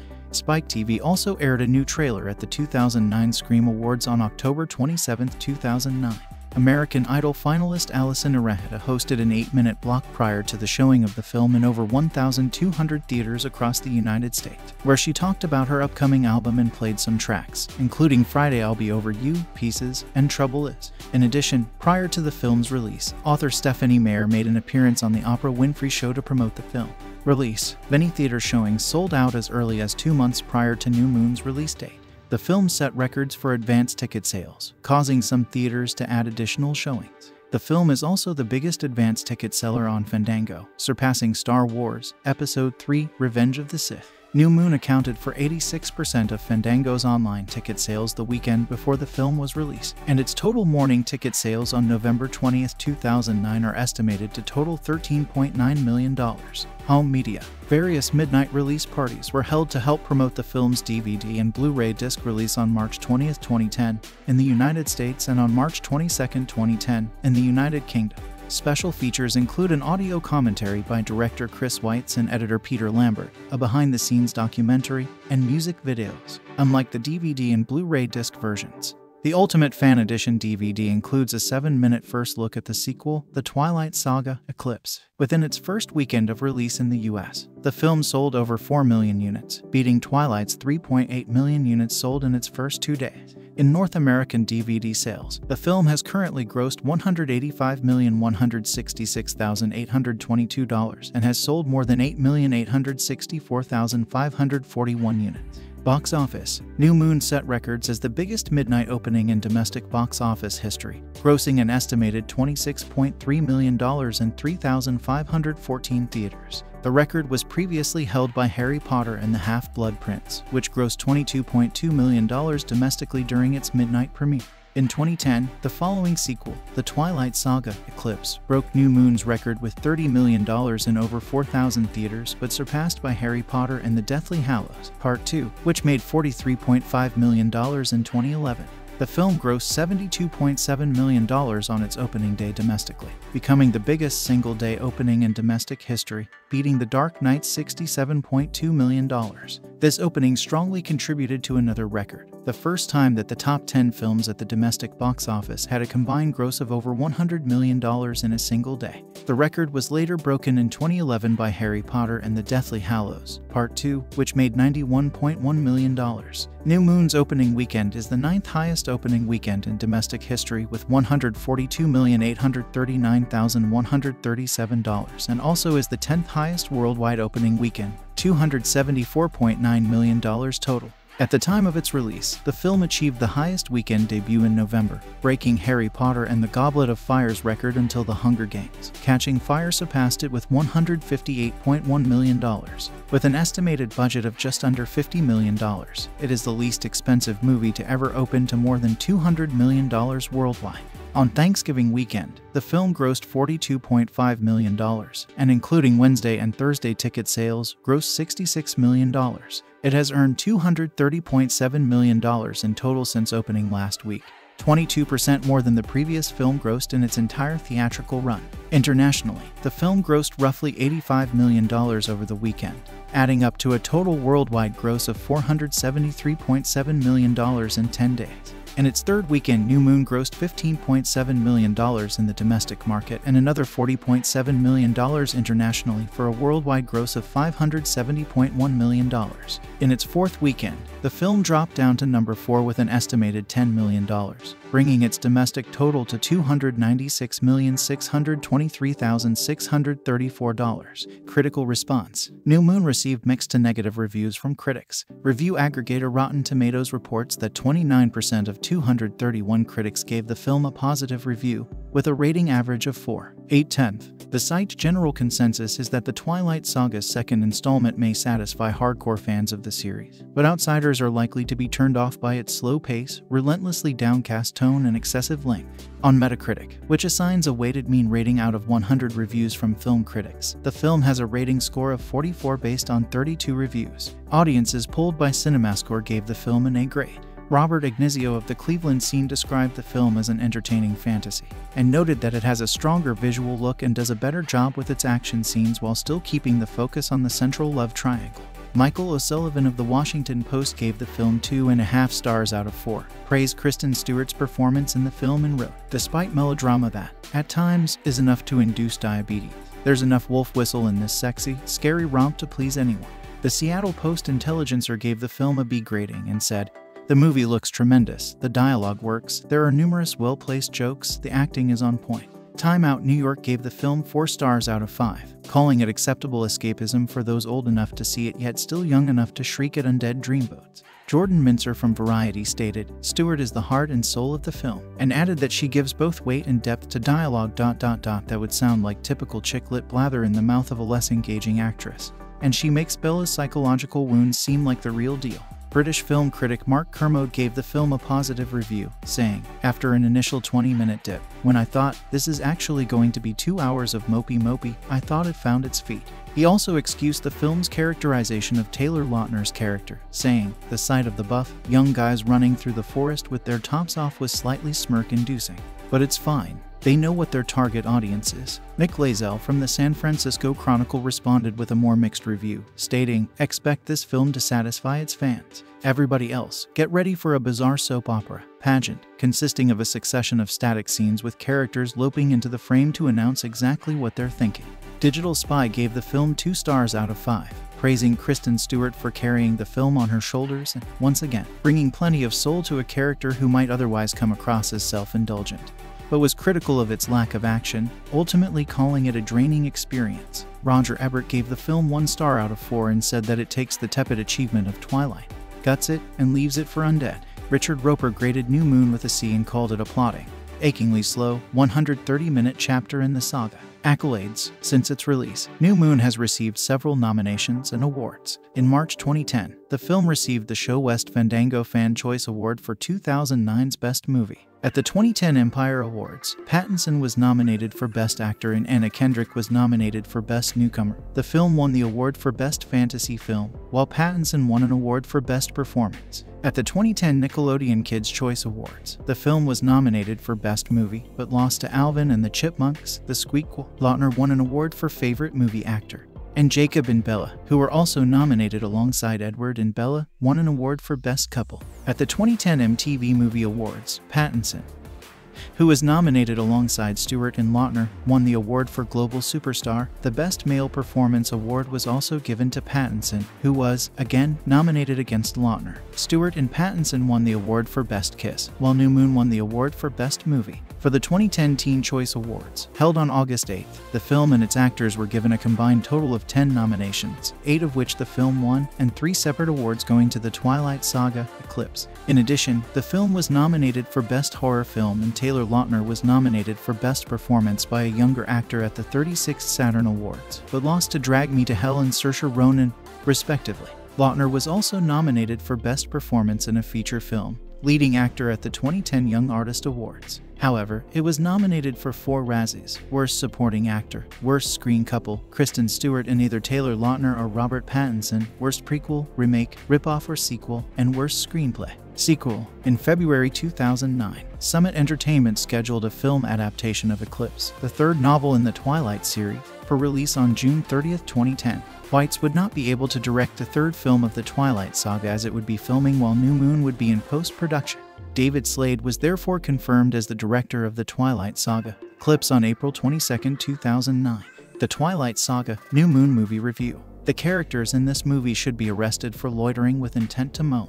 Never have teenagers been in greater need of a jump start. Granted, some of them are more than 100 years old, but still, their charisma is by Madame Tussauds. The Twilight Saga. New Moon takes the tepid achievement of Twilight, guts it, and leaves it for undead. You know you're in trouble with a sequel when the word of mouth advises you to see the first movie twice instead. Obviously, the characters all have. Long opening stretches of this film make utterly no sense unless you walk in knowing the first film, and hopefully both Stephenie Meyer novels by heart. Edward and Bella spend murky moments glowering at each other and thinking, so here we are again.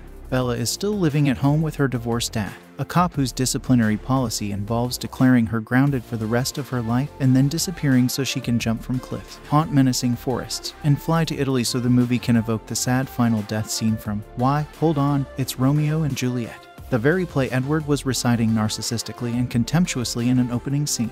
Yes, Edward is back in school, repeating the 12th grade for the 84th time.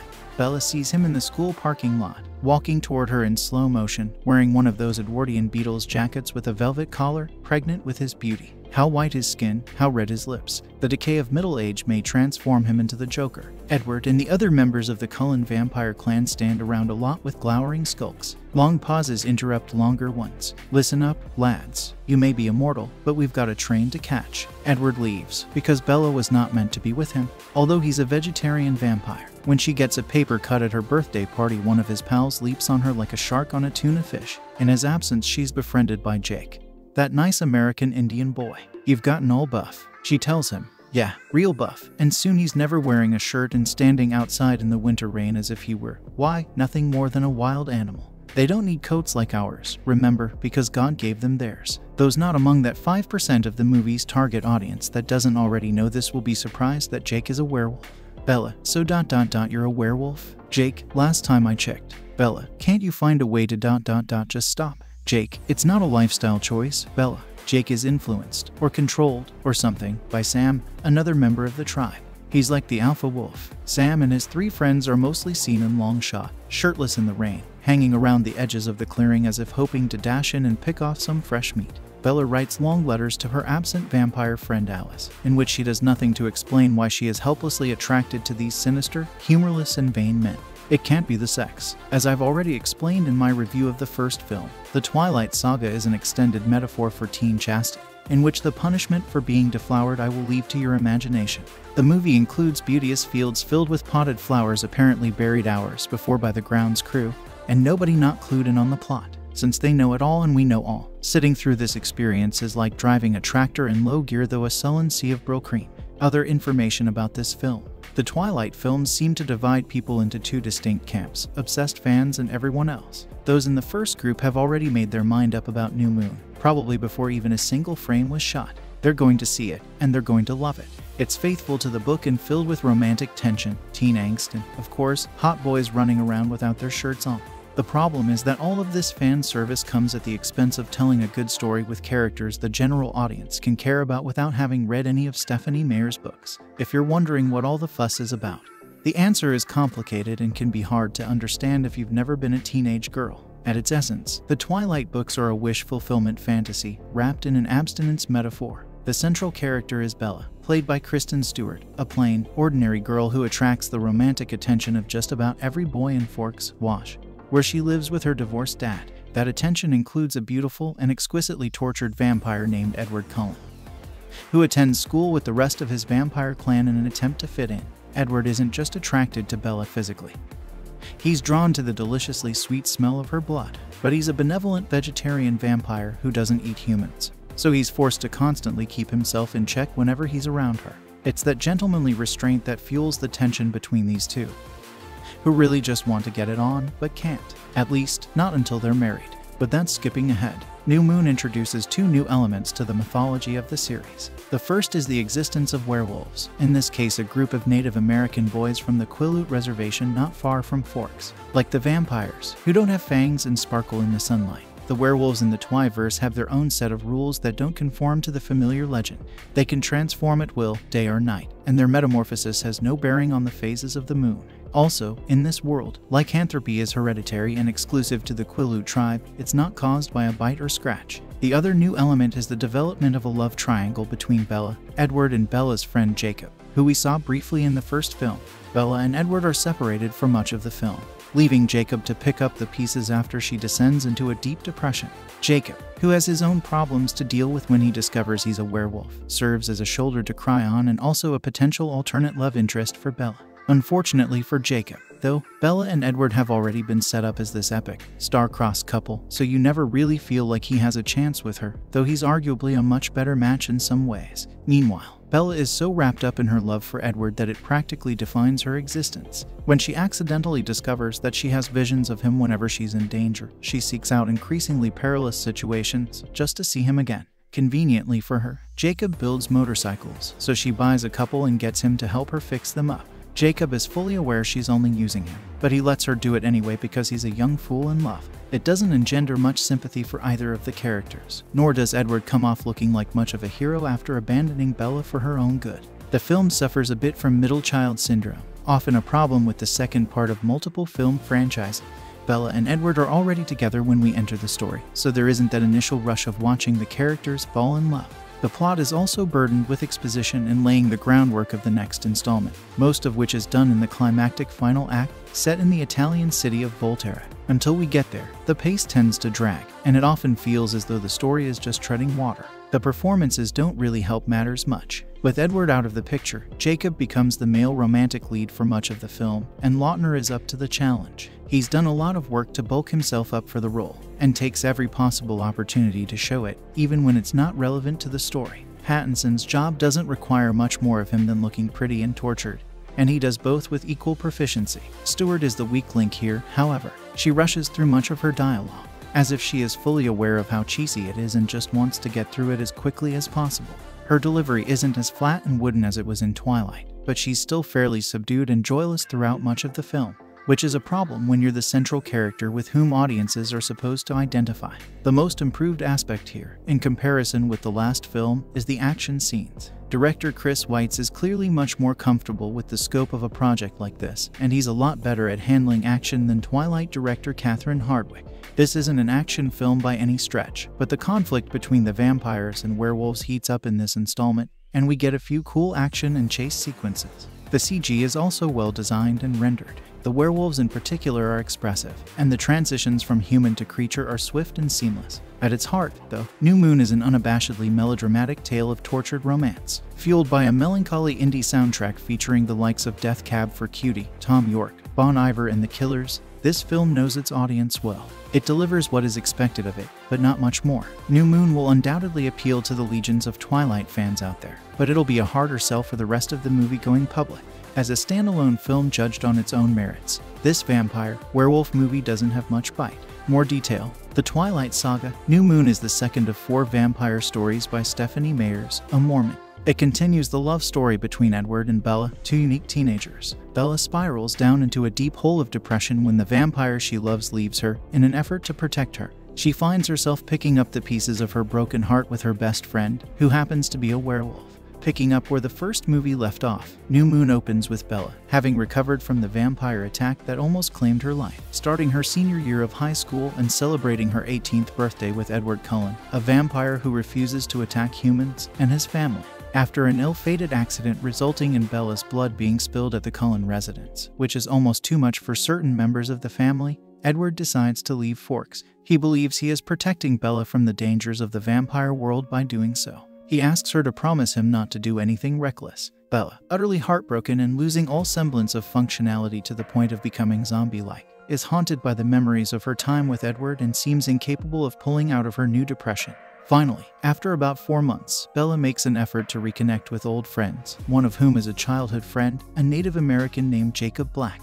During this time, she accidentally discovers that, by being reckless and putting herself in dangerous situations, she is able to see images of Edward in her mind more clearly and hear his voice. Desperate to be with him no matter the cost to herself, she purposefully continues to put herself at risk. With Jacob's help, Bella rebuilds an old motorbike to further her dangerous escapades. She soon comes to discover that Jacob might be exactly what she needs to heal from the hurt of her broken relationship. She begins to feel alive and happy again even though the memory of Edward is still painful. Her friendship with Jacob, a member of the Quileute tribe, leads her to a new discovery concerning the secrets of their heritage, as Jacob must deal with a newfound ability to transform himself into a werewolf. In the midst of this, Bella's life is in danger with the arrival of Victoria, the vampire maid of James, who was killed by Edward and his family in the first movie. The emotional tension and plot slowly culminates in the end where Bella must save Edward from deliberately provoking the Volturi, a secret vampire society that regulates the laws over others of their kind, into killing Edward. Like Shakespeare's Romeo and Juliet, Edward has received information leading him to believe Bella is dead, and he believes that, by provoking the vampire leaders, he can end his misery. Fans of New Moon will love it, but many critics will groan. Also, those who go into the film expecting lots of action and excitement probably will be disappointed, because the movie isn't so much about that as it is about Bella's heartbrokenness and the boy, werewolf who brings her back from her depression and helps her feel alive again.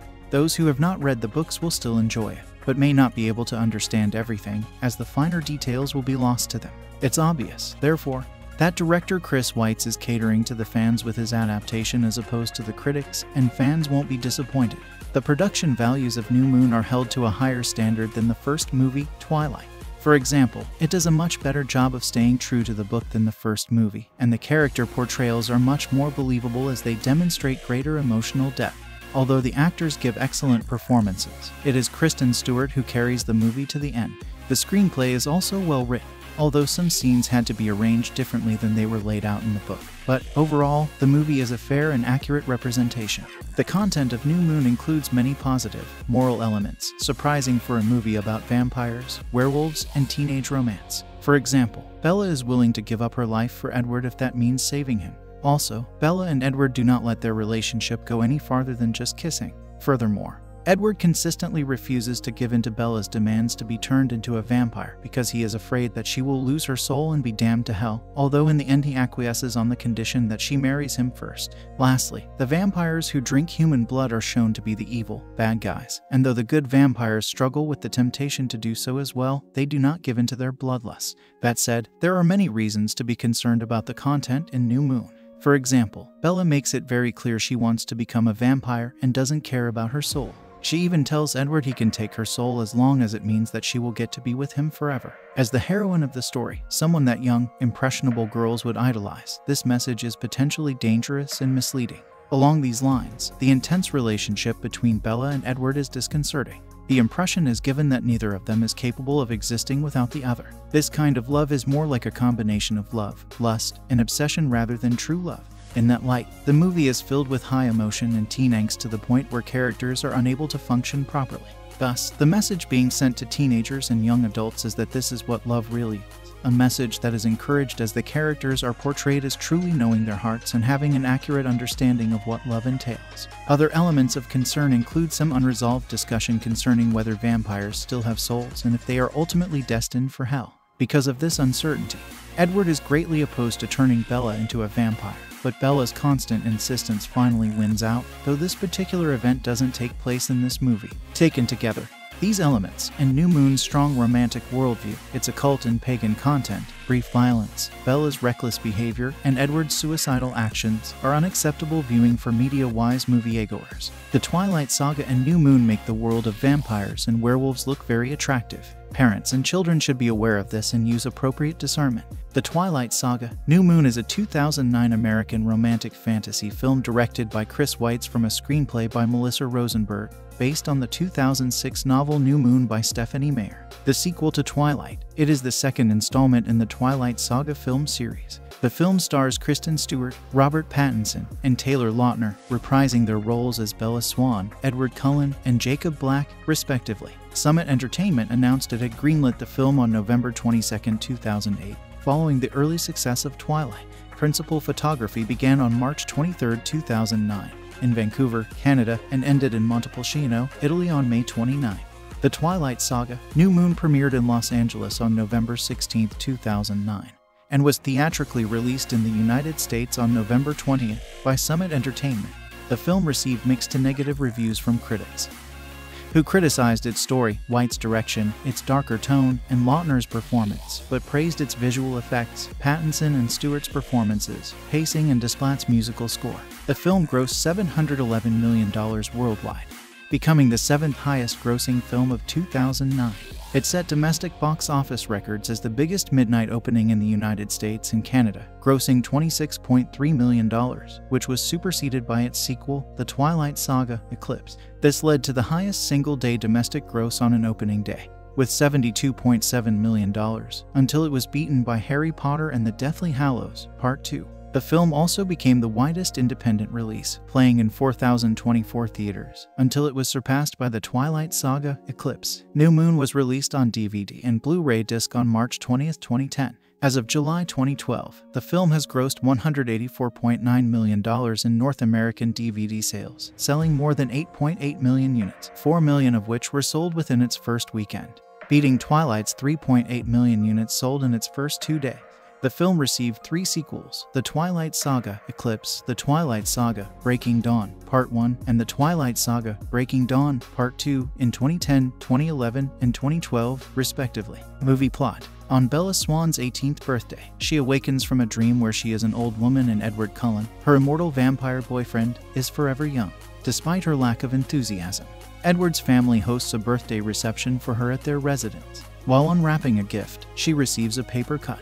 Edward's foster brother, Jasper, is overwhelmed by the scent of Bella's blood and attempts to attack her but is restrained.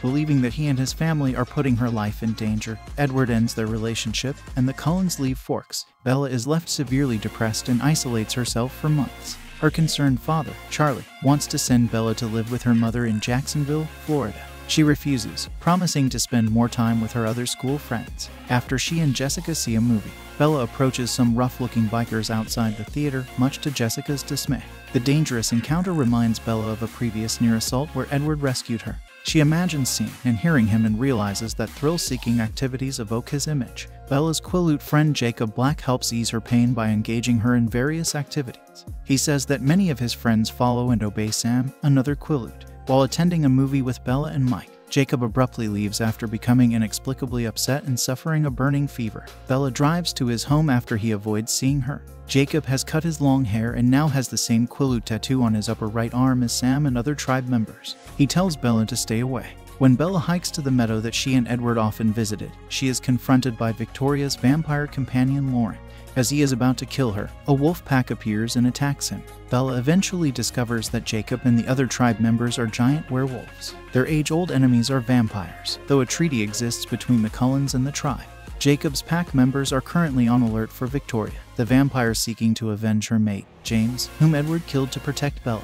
With Jacob focused on adapting to his new shape-shifting powers, Bella again finds herself alone and returns to seeking thrill-inducing activity deliberately oblivious to Victoria's presence. Through a series of miscommunications, Edward believes that Bella has killed herself after Edward's sister Alice has a vision of Bella jumping off a seaside cliff. Distraught, Edward travels to Italy to ask the Volturi to end his life, as he is incapable of doing so himself. When they refuse his request, he plans to force their hand by exposing himself as a vampire to humans during a large festival. Alice returns to Forks, shocked to find Bella is still alive. Alice and Bella travel to Italy to save Edward, arriving in time to prevent him from revealing himself as a vampire. Overjoyed that Bella is alive, he confesses that he left Forks out of concern for her and promises never to leave her again. Edward defends Bella from Felix, one of the Volturi, as the Volturi do not allow humans to confide in vampire society, and Edward is easily overpowered. As the Volturi are about to kill him, Bella asks that they kill her instead, impressed by a human's willingness to sacrifice her life for a vampire. The Volturi determine that Bella, knowing that vampires exist, must either be killed or be transformed into a vampire. Alice shares her vision of Bella as a vampire with Aro, a Volturi elder able to read thoughts through touch. Aro decides to let them go after extracting a promise that Bella be turned eventually. After returning to Forks, Bella asks the Cullens to vote on her becoming a vampire. Much to Edward and Rosalie's chagrin, everyone else votes yes. Jacob reminds Edward that the years-old treaty with Quileute will be broken if any Cullen bites a human, but Bella tells Jacob it is her choice, not the Cullens. At the Meadows, Edward admits that he will let Bella transform into a vampire only if she agrees to marry him. Initially, Bella refuses but contemplates doing so afterward. Cast Kristen Stewart as Bella Swan, a teenage girl who falls into a deep depression after her true love, Edward Cullen, leaves her. Her friendship with Jacob Black is expanded as she realizes that he can mend the hole left open by Edward. Robert Pattinson as Edward Cullen, Bella's vampire boyfriend who abruptly leaves town to protect her. Taylor Lautner as Jacob Black, a cheerful companion who eases Bella's pain over losing Edward. He reveals to Bella that he is part of a pack of werewolves whose main goal is to protect her from the vampires Laurent and Victoria. Ashley Greene as Alice Cullen, a member of the Cullen family who can see subjective visions of the future and who develops a deep friendship with Bella. Rachelle Lefevre as Victoria Sutherland, a ruthless vampire who wants to avenge her lover, James. This would be her final appearance as the character before being replaced by Bryce Dallas Howard in the next installment a year later. Billy Burke as Charlie Swan, Bella's father and Forks chief of police. Peter Facinelli as Carlisle Cullen, leader and father figure of the Cullen family. Nikki Reed as Rosalie Hale, a member of the Cullen family. Kellen Lutz as Emmett Cullen, a member of the Cullen family. Jackson Rathbone as Jasper Hale, a member of the Cullen family who thirsts for Bella's blood after she receives a paper cut. He has the ability to manipulate emotions. Anna Kendrick is Jessica Stanley, Bella's self-involved friend. Michael Sheen is Aro, the leader of an ancient Italian vampire coven known as the Volturi. Dakota Fanning is Jane, a guard of the Volturi who has the ability to torture people with illusions of pain. Elizabeth Reaser is Esme Cullen, Carlisle's wife and the mother figure of the Cullen family.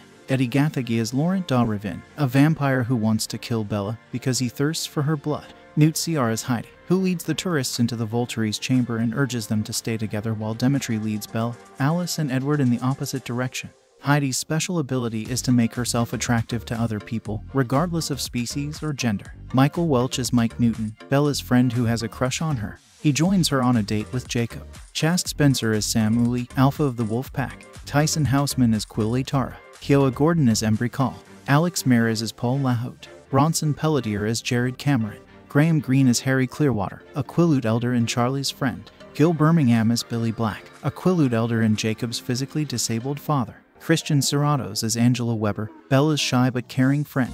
Justin Chon as Eric Yorkie, Bella's friend and Angela's boyfriend. Tinsel Korey as Emily Young, Sam's imprinted fiance whom he once hurt unintentionally. Jamie Campbell Bower as Caius, a Volturi elder who is very strict about vampire laws. Christopher Heyerdahl as Marcus, a Volturi elder who has the gift of seeing the relationship connections between people. Justine Wachsberger as Gianna, Volturi's human secretary. Cameron Bright as Alec, Jane's brother who has the ability to cut off senses. Charlie Bewley as Demetri, a Volturi guard who is a gifted tracker. Daniel Cudmore as Felix, a Volturi guard who has supreme strength. Development In early November 2008, Summit Entertainment obtained the film adaptation rights to the remaining novels in the Twilight book series New Moon, Eclipse, and Breaking Dawn. On November 22, 2008, one day after the theatrical release of Twilight, Summit confirmed that they would begin working on New Moon. Author Stephenie Meyer said, I don't think any other author has had a more positive experience with the makers of her movie adaptation than I have had with Summit Entertainment. In early December 2008, it was announced that Twilight director Catherine Hardwicke would not be returning to direct the sequel. Hardwicke cited time restrictions as the reason behind her leaving the project. On December 13, 2008, it was announced that Chris Weitz had been hired to direct New Moon. Weitz released a statement shortly after the announcement, assuring fans that he would protect on their behalf the characters, themes, and story they love. He continued by saying, this is not a task to be taken lightly, and I will put every effort into realizing a beautiful film to stand alongside a beautiful book. Screenwriter Melissa Rosenberg had been working on adapting the novel prior to Twilight's release and handed in the draft for New Moon during Twilight's opening weekend in November 2008, adding, I would sit down at 10 o'clock in the morning and work on until 6 o'clock in the evening. Rosenberg spent the months of June through October 2008 alternating between writing for the Showtime television series Dexter and writing New Moon on weekends. She and Meyer kept in touch during this five month period. Casting Due to major physical changes that occur in the character of Jacob Black between Twilight and New Moon, Weitz considered replacing Taylor Lautner in the sequel with an actor who could more accurately portray the new, larger Jacob Black. In an attempt to keep the role, Lautner weight trained extensively and gained approximately 30 pounds. In January 2009, Weitz and Summit Entertainment announced that Lautner would continue to play the role of Jacob in the sequel.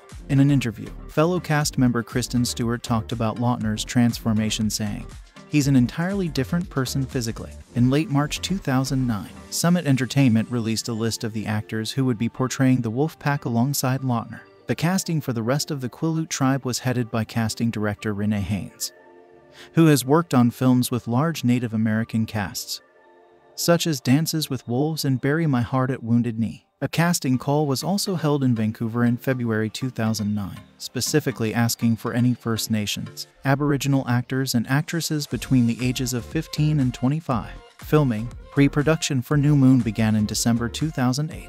Principal photography was scheduled to begin on March 23, 2009 in Vancouver, but began a few days early. Weitz envisioned a warm color palette for the sequel, contrary to the first film in the series, whose blue tones were prevalent. His intention resulted in golden tones, a change that was inspired by Italian paintings, and ultimately served as the basis for the crew's collaborative work. The approach also included the use of specific colors at certain points in the movie. For example, although Jacob's house is red, the color does not dominate until the climax of the movie. The director noted that the square becomes a flood of red. That's how conscious we were of every visual aspect. The use of film, rather than digital, cameras added to the old fashioned nature of the production.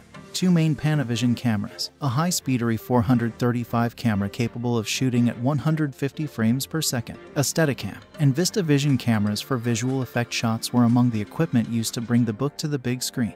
As with the use of specific colors, the different cameras and shooting setups would help serve the story point. When Bella was with Edward, the camera was moved on a dolly in a very rigid, straight line to reflect how their relationship was perfect. When Bella is with Jacob, the Steadicam provided a fluid and organic style, and when she is with her schoolmates, a slangy visual language was reflected by a handheld. Once the film went into production, the decision to shoot in Vancouver, rather than in Portland, came after debate on how to match the locations that were introduced in the first film. One member involved in the decision process pointed out that Vancouver had been scouted as a potential setting for Twilight. And it was only because the US dollar had, at that time, dropped below the Canadian dollar that Oregon drew Twilight principal photography to Portland and its surrounding areas. Vancouver was chosen because it allowed a higher production value, while the surrounding areas contained beautiful forests and gray weather. With this decision, however, came the issue of reconstructing key sets that were used in the first film. For the exterior of Forks High School, crew members were able to find a parking lot, but the school's steps needed to be filmed with a green screen backing to match those that were originally presented in Twilight. David Thompson Secondary School would then be able to serve as the interior for the high school scene. The Cullen House was one of the major match assignments, mainly because of the Portland area location's unique design. The production team agreed upon finding a house in the Vancouver area with an interior that emulated the high ceilings, glass walls, and forest surroundings of the first location. One location was positively compared to the one in Portland and therefore Weitz and the production team filmed portions of the film there. In order to keep with the design of the original house, portions of the story that took place in New Moon were moved to different sections of the house that were not seen before. After scouting Vancouver for a place to film scenes that involved the Swan House, the decision was made to recreate the house on an empty lot with a tree line and approaching road. The production team was able to rearrange the exterior of the house to match that in the first movie. When faced with creating the interior, the team measured the house in Portland and built various pieces of the house on the lot and on a stage in Vancouver. The second film also attempted to clarify the location of Bella's room, which, as seen in the first film, seemed to be located in the front of the house when in reality it was on the right hand side. Complications arose when the Portland house was repainted after Twilight's release, which took away the aging the house had come to depict in the film.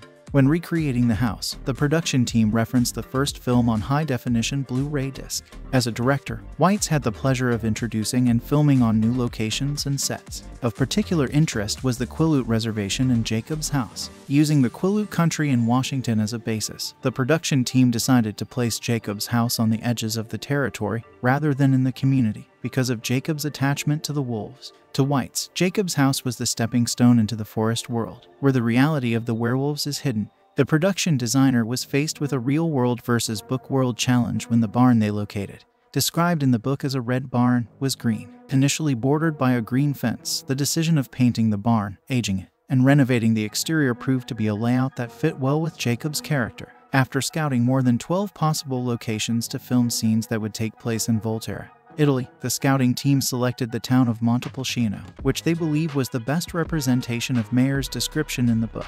Principal photography concluded with the scenes that were filmed in this area from May 25th through the 29th. For the face-off between the Volturi and Edward, the idea was to have a bigger bang rather than just the paralysis of Edward. Initially, what was a huge battle with vampires being thrown everywhere turned into a one-on-one fight between Felix and Edward.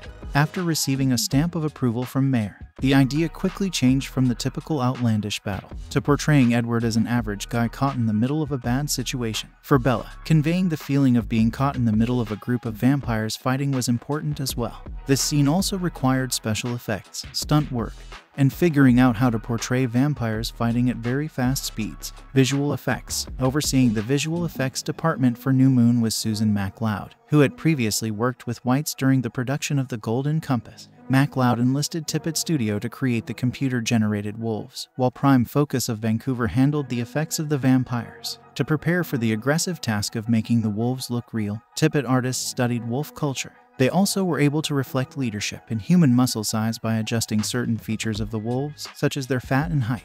In February 2009, a group of artists were able to travel to Wolf Mountain Sanctuary outside of Los Angeles and see real wolves. The artists were able to observe the behavior of both the timber and Arctic wolves, who ran in packs of three to five. The idea was to give everyone a deeper feeling of the creature that they were creating. MacLeod explained that creating the shape-shifting werewolves was not an easy task. The wolf work included shooting plates, or photographic imagery into which CG creations are integrated. Since the book described the wolves as being as big as horses, full-scale aluminum and board wolf cutouts were used as a visual reference for both actors and crew members. Once the actors had a reference, the cutouts would be removed allowing the cameras to capture the scene. In order for the CG wolves to be in sync with the live-action cameras and actors' movements, the team used Match Movers, a land surveying tool that recorded the shooting location's topography with reference marks. A raw 3D model of Jacob's wolf was the basis for creating the others. A muscle system, which gave the appearance of muscles firing and flexing, contributed to this model. From there, the initial fur layout went to painters who were responsible for its color and groom. They also added characteristics, such as wet hair clumping together, and applied it to the fur. They refined this look before passing it off to the lighting and technical directors. One challenge for the production team was how to convey Bella's depression once Edward departs. In the novel, these pages were filled with the names of the passing months, and in the movie would be represented as a visual effect shot with a camera circling around Kristen Stewart. The window that was used for the original film did not quite fit what Weitz was looking for, so the production team created a bay window when recreating the Swan House. The effect was one of the 300 visual effects helmed by Prime Focus led by visual effects supervisor Eric Pascarelli. It required matching two camera shots, one that shot the actress in a chair, and the other shooting the view outside the window as seen from the house built on location. Using a green screen, Prime Focus was able to enhance the changing of seasons with computer-generated leaves and falling snow. Music. The score for New Moon was composed by Alexander Desplat while the rest of the soundtrack was chosen by music supervisor Alexandra Patsavas, who also produced the Twilight soundtrack. The Twilight Saga New Moon original motion picture soundtrack was released on October 16, 2009 by Patsavas' Chop Shop label in conjunction with Atlantic Records. It debuted at number 2 on the Billboard 200 albums chart and climbed to number 1 a week later after selling 153,000 copies in its first full week of release. Marketing In February 2009, it was announced that the franchise would take the name The Twilight Saga with the book's title separated by a colon, though the title that appears on screen is simply New Moon. The first promotional poster was released on May 19, 2009. On May 31st, Robert Pattinson, Kristen Stewart, and Taylor Lautner revealed the film's first trailer at the MTV Movie Awards. Following the release of the trailer, two scenes from the film were presented at the 2009 San Diego Comic Con. A 14 second preview of the second trailer was released online on August 12, 2009, and the full length trailer was featured before theater showings of the film Bandslam. The film's third trailer was shown at the MTV Video Music Awards on September 13, 2009. Spike TV also aired a new trailer at the 2009 Scream Awards on October 27, 2009. American Idol finalist Allison Iraheta hosted an 8-minute block prior to the showing of the film in over 1,200 theaters across the United States, where she talked about her upcoming album and played some tracks, including Friday I'll Be Over You, Pieces, and Trouble Is. In addition, prior to the film's release, author Stephenie Meyer made an appearance on the Oprah Winfrey Show to promote the film. Release Many theater showings sold out as early as two months prior to New Moon's release date. The film set records for advance ticket sales, causing some theaters to add additional showings. The film is also the biggest advance ticket seller on Fandango, surpassing Star Wars Episode 3 Revenge of the Sith. New Moon accounted for 86% of Fandango's online ticket sales the weekend before the film was released, and its total morning ticket sales on November 20, 2009 are estimated to total $13.9 million. Home Media Various midnight release parties were held to help promote the film's DVD and Blu-ray disc release on March 20, 2010 in the United States and on March 22, 2010 in the United Kingdom. Special features include an audio commentary by director Chris Weitz and editor Peter Lambert, a behind-the-scenes documentary, and music videos. Unlike the DVD and Blu-ray disc versions, the Ultimate Fan Edition DVD includes a 7 minute first look at the sequel, The Twilight Saga Eclipse. Within its first weekend of release in the US, the film sold over 4 million units, beating Twilight's 3.8 million units sold in its first two days. In North American DVD sales, the film has currently grossed $185,166,822 and has sold more than 8,864,541 units. Box office New Moon set records as the biggest midnight opening in domestic box office history, grossing an estimated $26.3 million in 3,514 theaters. The record was previously held by Harry Potter and the Half-Blood Prince, which grossed $22.2 million domestically during its midnight premiere. In 2010, the following sequel, The Twilight Saga Eclipse, broke New Moon's record with $30 million in over 4,000 theaters but surpassed by Harry Potter and the Deathly Hallows Part 2, which made $43.5 million in 2011. The film grossed $72.7 million on its opening day domestically, becoming the biggest single day opening in domestic history, beating The Dark Knight's $67.2 million. This opening strongly contributed to another record, the first time that the top 10 films at the domestic box office had a combined gross of over $100 million in a single day. The record was later broken in 2011 by Harry Potter and the Deathly Hallows, Part 2, which made $91.1 million. New Moon's opening weekend is the ninth highest opening weekend in domestic history with $142,839,137 and also is the 10th highest worldwide opening weekend, $274.9 million total. At the time of its release, the film achieved the highest weekend debut in November, breaking Harry Potter and the Goblet of Fire's record until The Hunger Games. Catching Fire surpassed it with $158.1 million. With an estimated budget of just under $50 million, it is the least expensive movie to ever open to more than $200 million worldwide. On Thanksgiving weekend, the film grossed $42.5 million, and including Wednesday and Thursday ticket sales, grossed $66 million. It has earned $230.7 million in total since opening last week, 22% more than the previous film grossed in its entire theatrical run. Internationally, the film grossed roughly $85 million over the weekend, adding up to a total worldwide gross of $473.7 million in 10 days. In its third weekend, New Moon grossed $15.7 million in the domestic market and another $40.7 million internationally for a worldwide gross of $570.1 million. In its fourth weekend, the film dropped down to number 4 with an estimated $10 million, bringing its domestic total to $296,623,634. Critical response New Moon received mixed to negative reviews from critics. Review aggregator Rotten Tomatoes reports that 29% of 231 critics gave the film a positive review, with a rating average of 4. 8 tenth. The site's general consensus is that the Twilight Saga's second installment may satisfy hardcore fans of the series, but outsiders are likely to be turned off by its slow pace, relentlessly downcast tone, and excessive length.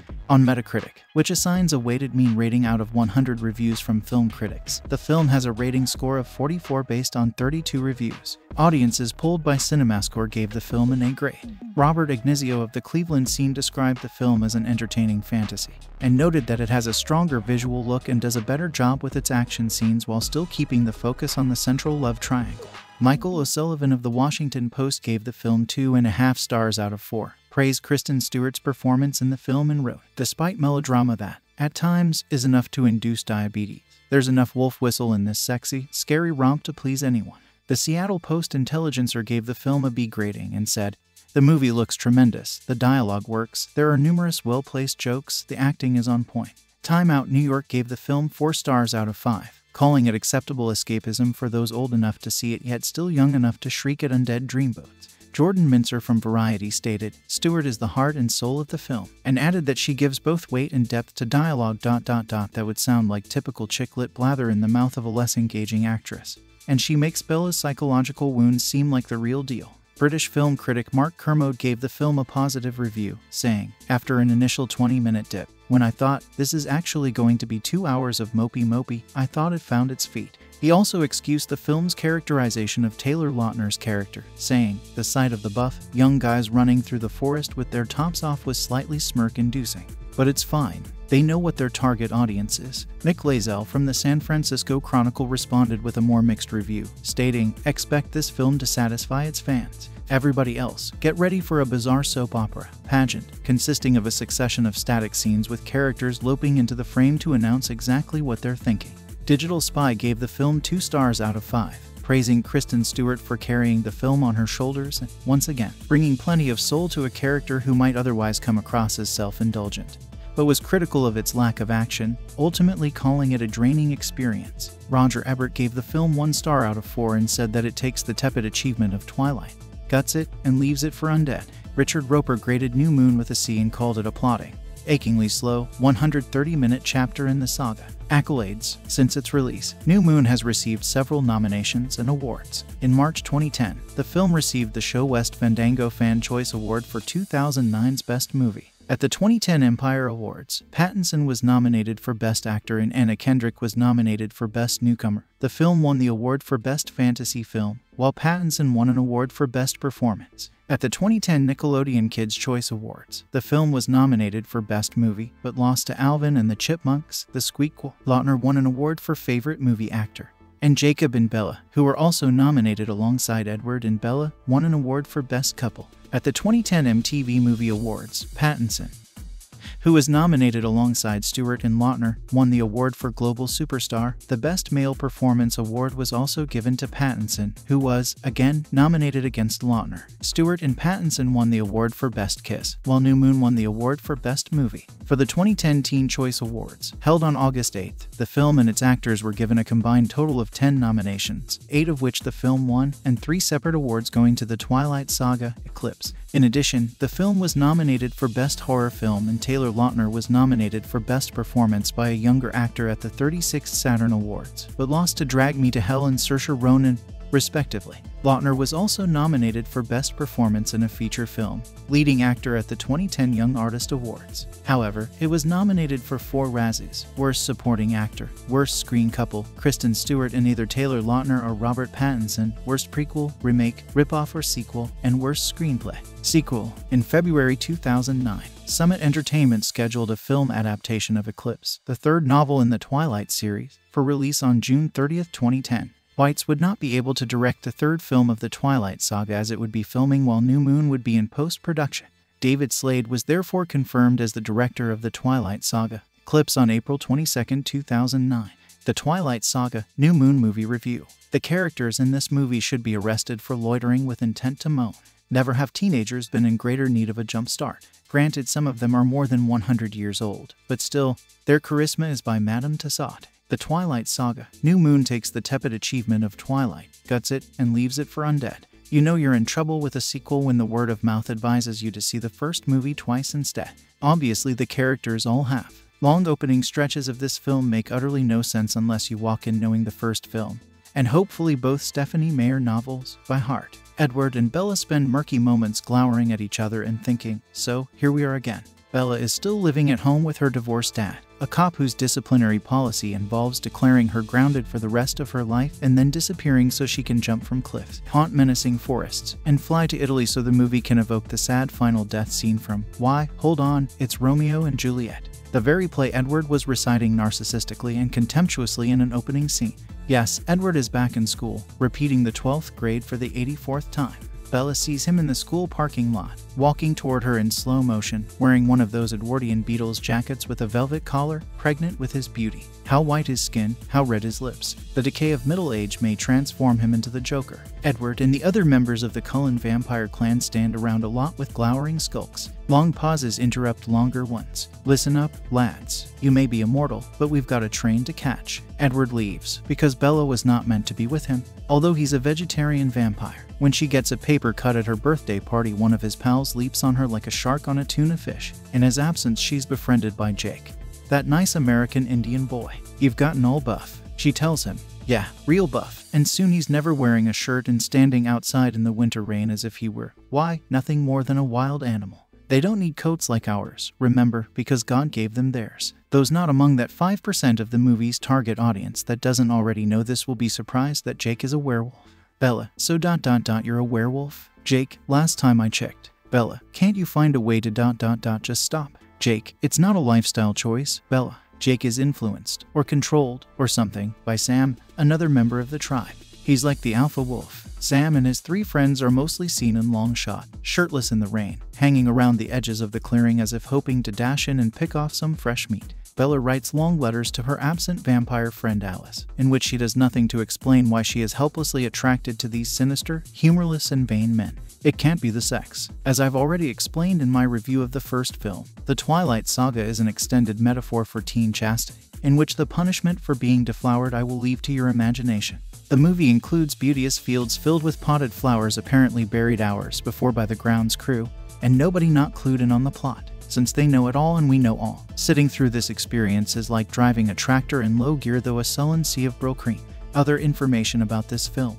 The Twilight films seem to divide people into two distinct camps, obsessed fans and everyone else. Those in the first group have already made their mind up about New Moon, probably before even a single frame was shot. They're going to see it, and they're going to love it. It's faithful to the book and filled with romantic tension, teen angst, and, of course, hot boys running around without their shirts on. The problem is that all of this fan service comes at the expense of telling a good story with characters the general audience can care about without having read any of Stephenie Meyer's books. If you're wondering what all the fuss is about, The answer is complicated and can be hard to understand if you've never been a teenage girl. At its essence, the Twilight books are a wish fulfillment fantasy wrapped in an abstinence metaphor. The central character is Bella, played by Kristen Stewart, a plain, ordinary girl who attracts the romantic attention of just about every boy in Forks, Wash, where she lives with her divorced dad. That attention includes a beautiful and exquisitely tortured vampire named Edward Cullen, who attends school with the rest of his vampire clan in an attempt to fit in. Edward isn't just attracted to Bella physically.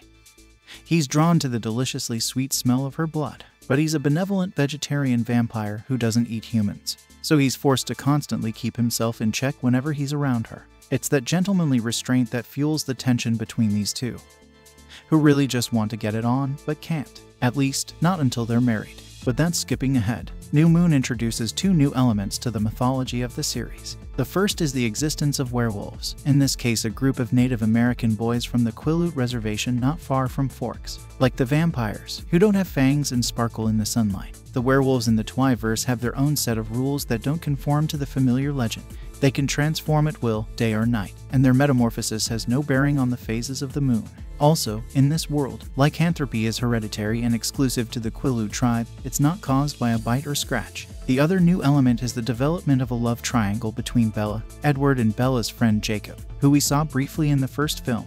Bella and Edward are separated for much of the film, leaving Jacob to pick up the pieces after she descends into a deep depression. Jacob, who has his own problems to deal with when he discovers he's a werewolf, serves as a shoulder to cry on and also a potential alternate love interest for Bella. Unfortunately for Jacob, though, Bella and Edward have already been set up as this epic, star-crossed couple, so you never really feel like he has a chance with her, though he's arguably a much better match in some ways. Meanwhile, Bella is so wrapped up in her love for Edward that it practically defines her existence. When she accidentally discovers that she has visions of him whenever she's in danger, she seeks out increasingly perilous situations just to see him again. Conveniently for her, Jacob builds motorcycles, so she buys a couple and gets him to help her fix them up. Jacob is fully aware she's only using him, but he lets her do it anyway because he's a young fool in love. It doesn't engender much sympathy for either of the characters, nor does Edward come off looking like much of a hero after abandoning Bella for her own good. The film suffers a bit from middle child syndrome,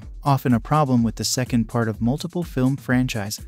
Bella and Edward are already together when we enter the story, so there isn't that initial rush of watching the characters fall in love. The plot is also burdened with exposition and laying the groundwork of the next installment, most of which is done in the climactic final act set in the Italian city of Volterra. Until we get there, the pace tends to drag, and it often feels as though the story is just treading water. The performances don't really help matters much. With Edward out of the picture, Jacob becomes the male romantic lead for much of the film, and Lautner is up to the challenge. He's done a lot of work to bulk himself up for the role, and takes every possible opportunity to show it, even when it's not relevant to the story. Pattinson's job doesn't require much more of him than looking pretty and tortured, and he does both with equal proficiency. Stewart is the weak link here, however. She rushes through much of her dialogue, as if she is fully aware of how cheesy it is and just wants to get through it as quickly as possible. Her delivery isn't as flat and wooden as it was in Twilight, but she's still fairly subdued and joyless throughout much of the film, which is a problem when you're the central character with whom audiences are supposed to identify.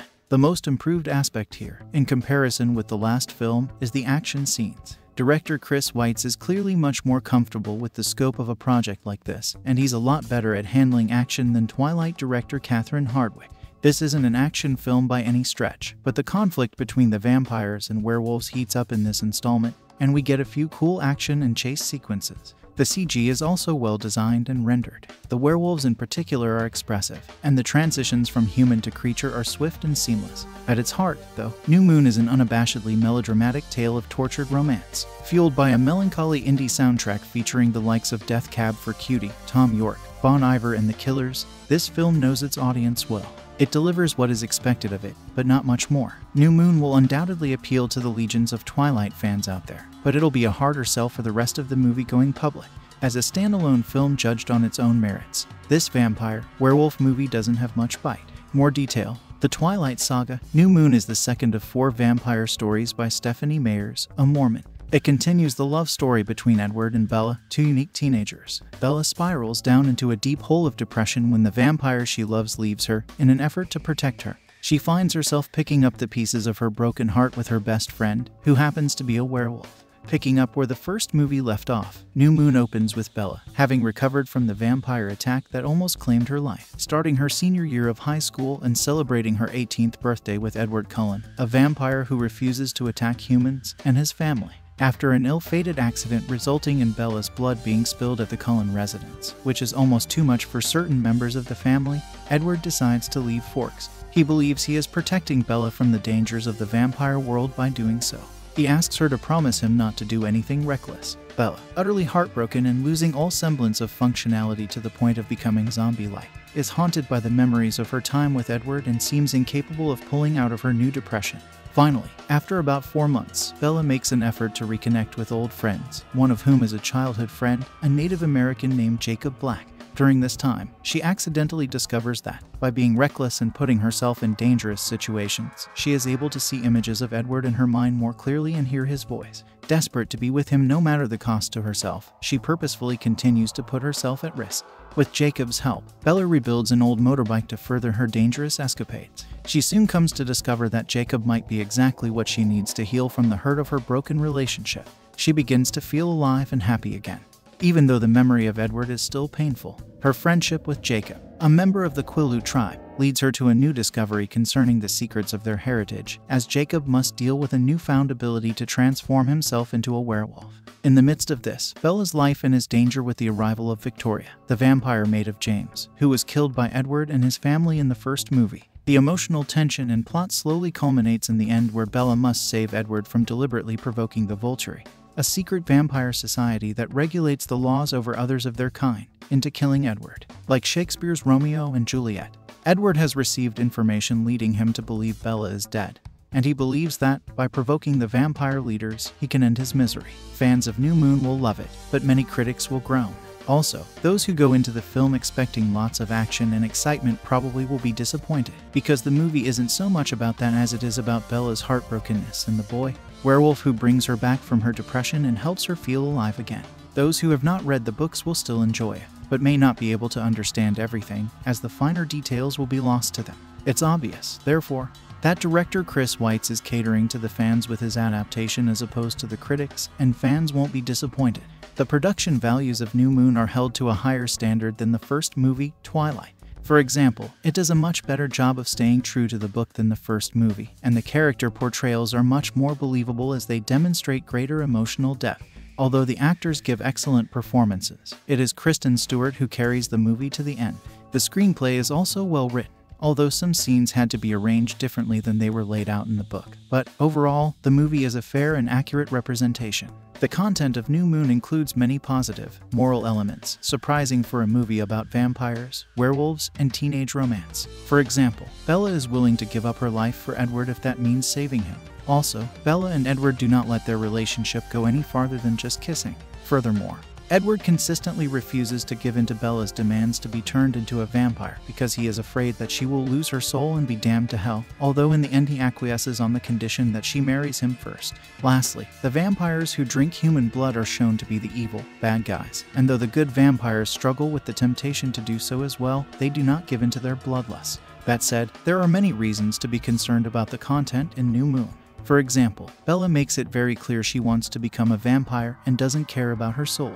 She even tells Edward he can take her soul as long as it means that she will get to be with him forever. As the heroine of the story, someone that young, impressionable girls would idolize, this message is potentially dangerous and misleading. Along these lines, the intense relationship between Bella and Edward is disconcerting. The impression is given that neither of them is capable of existing without the other. This kind of love is more like a combination of love, lust, and obsession rather than true love. In that light, the movie is filled with high emotion and teen angst to the point where characters are unable to function properly. Thus, the message being sent to teenagers and young adults is that this is what love really is a message that is encouraged as the characters are portrayed as truly knowing their hearts and having an accurate understanding of what love entails. Other elements of concern include some unresolved discussion concerning whether vampires still have souls and if they are ultimately destined for hell. Because of this uncertainty, Edward is greatly opposed to turning Bella into a vampire, but Bella's constant insistence finally wins out, though this particular event doesn't take place in this movie.